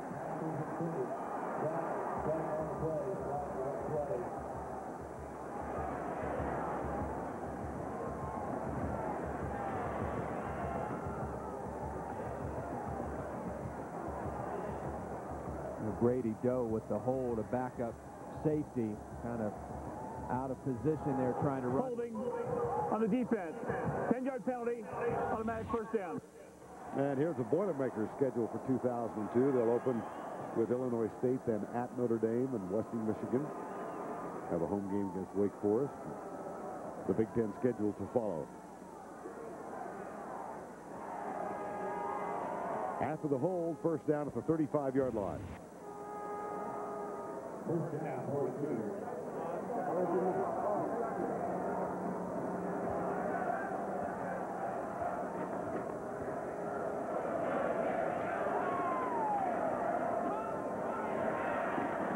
handoff to Dave Minnich out to the 40-yard line on first down. Well, the crowd thinning out here. There will be a few folks in the Rose Bowl January 3rd. Yeah, there will be. And uh, you, you, look at this the way I look at the game and break it down. I think Nebraska has a huge edge in the run offense. Miami pass offense, run defense, and pass defense. A slight edge in special teams. And I think Nebraska has an edge the intangibles. Uh, I think two things. Number one, I think they have a little more incentive because they were so thoroughly embarrassed the last time they played against Colorado. And they've had a month to live with that. I think also Najeh Davenport being out for Miami is a huge factor for the Hurricanes. He's a key part of their team. And then Eric Crouch, I think, is the other intangible. I just think he, the Heisman Trophy winner and running that option, uh, I think Nebraska's going to win the football game. Well, how about the Colorado-Oregon game? I think Oregon's going to win that football game. Uh, I think they're both going to be very, very entertaining football games, and uh, uh, obviously if Nebraska does beat Miami, then we've got a, a, a split or co-national championship situation uh, for the end of the season. On second down, Dave Minnich is caught for a loss at the 38-yard line. Stuart Schweigert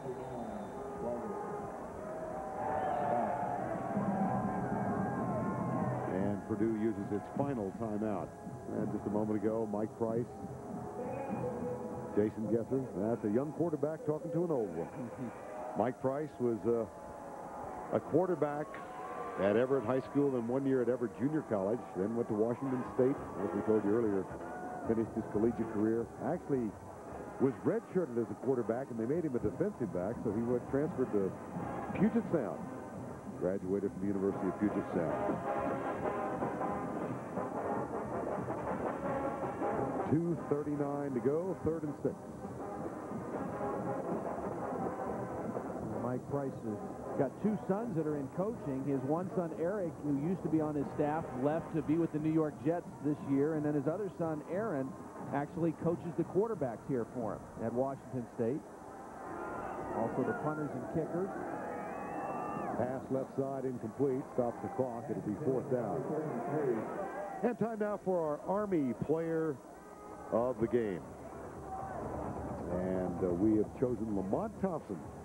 Two interceptions today, nine tackles, defended three passes. The All-American free safety Lamont Thompson of Richmond, California. The Army player of the game.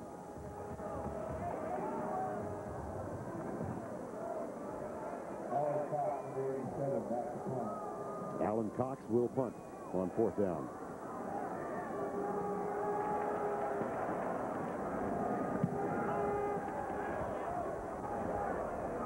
Taken by Morales at the 23. And tackled at the 27.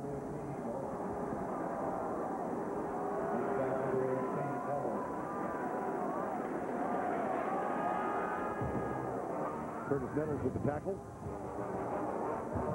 This is Akin Ayodele, who's uh, the best defensive lineman on the team, gets tangled up with one of the best special teams players at Washington State.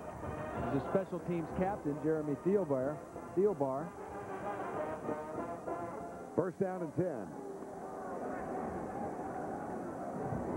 Both teams out of timeouts, and here's Orton deep down the middle. That was incomplete. And it'll be second down and 10. They may not have been kidding. They may get for 83 passes They might. today. They convert a couple third downs, they might.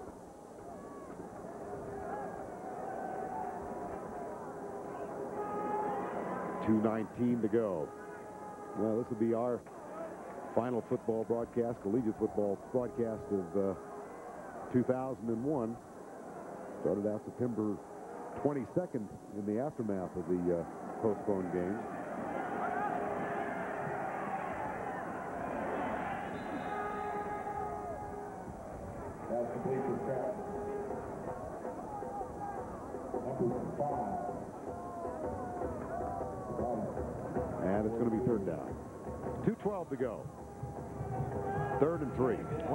Price is going to get the uh, the ice water bath here today. I'd say there's a pretty decent chance he will. Nice way for Tim Stratton to finish his Purdue career. There's Stratton with another catch over the middle. And the clock will stop as they move the chain. 2.05 to go in this one. 32 rushes, 68 passes. Good night. 69. Orton, deep left side. There's Stubblefield, got it! Touchdown! 51 yards. Don't go anywhere yet, folks. We're within a touchdown. And this is prevent defense. A four-man rush picked up easily by Purdue, and then you just don't let this happen at this point in the game. Eric Coleman just let Stubblefield run by him, and if anything, you want to keep everything in front of you with a 13-point lead. Dorsch for the extra point.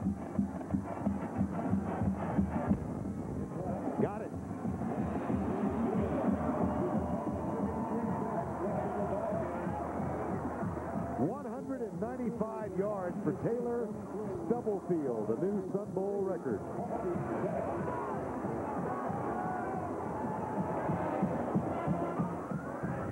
Well, they hit the big play to Stubblefield earlier in the game on a similar route down the seam.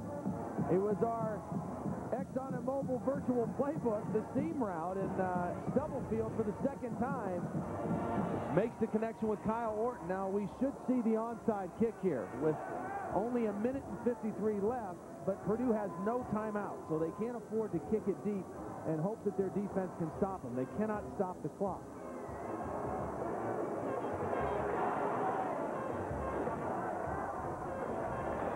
And again, a reminder of the uh, lineup for tonight on CBS.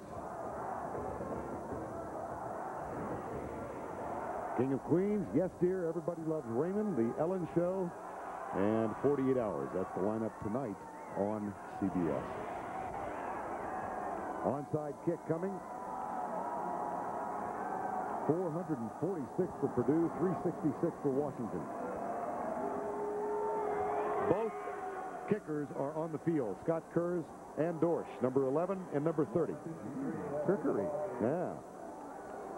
Sleight of hand. Deceit. A very unusual formation, too, for Purdue. Have to move the ball back uh, an inch and a half to make it legal.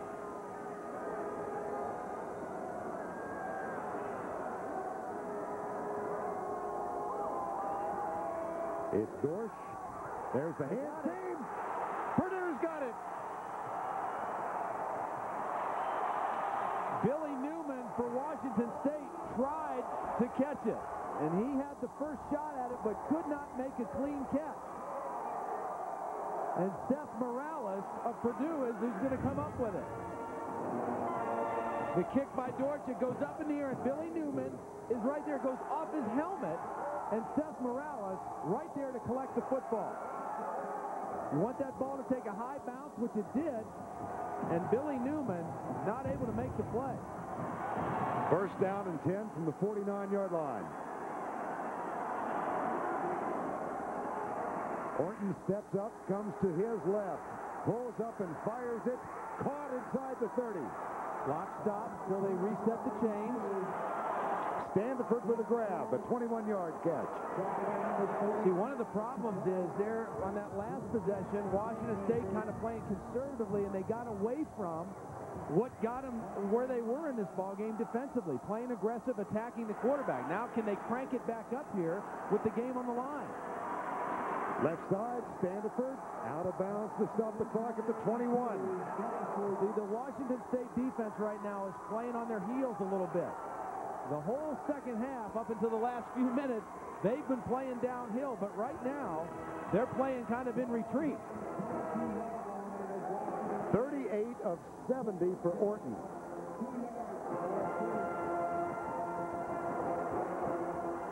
Seventy passes. My goodness. Second down and two. Orton pumps once, off balance, incomplete.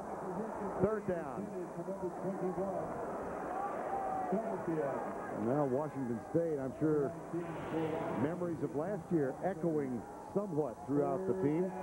They had four last-second losses in the year 2000. And on their heels here, third down. The most important thing right now for Kyle Orton is to get this first down. Get a new set of downs, plus it'll stop the clock. There's a lot of time left, a minute 25, but you got to get this first down. Comes left again, tipped incomplete, fourth down.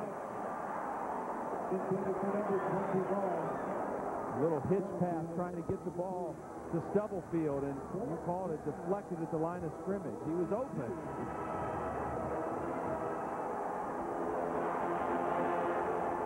Fourth and two.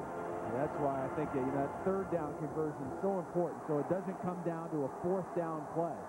Because now, you don't make it this time, you're done. Orton, pressure, hit, incomplete. Two plays in a row, they got their hands on the football. Raonall Smith, who's had a huge game along with Lamont Thompson, got a knockdown on that one.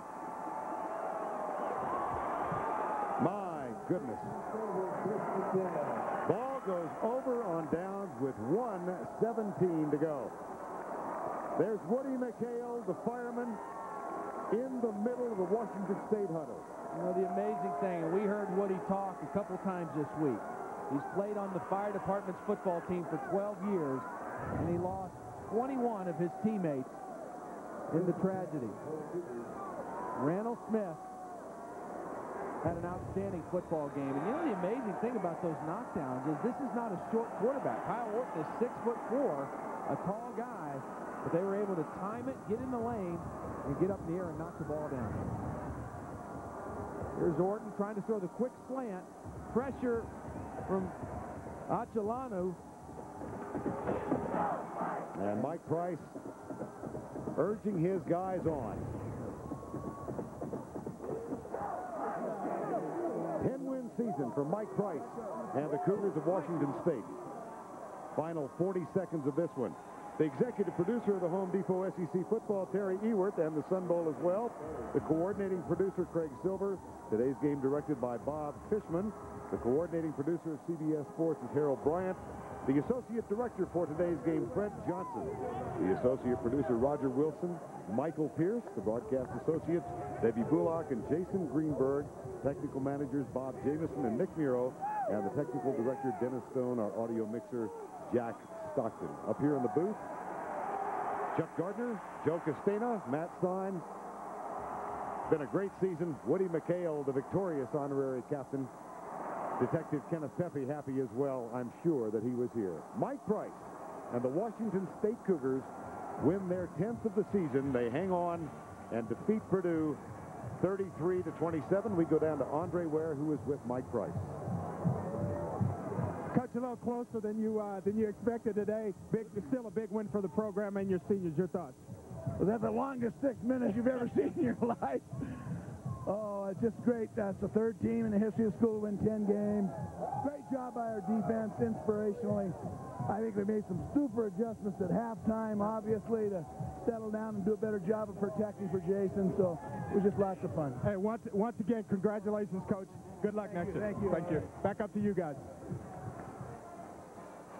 Final score 33-27. Purdue loses to Washington State.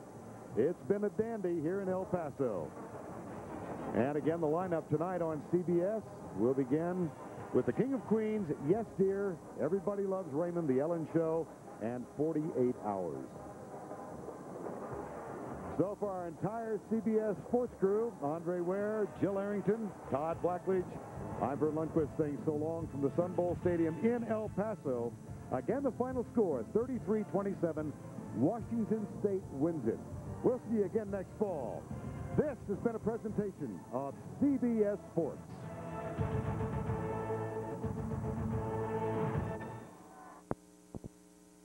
ABC Sports, home of the Bowl Championship Series. The college football season has come down to three days and four bowls. Thursday in prime time, the national title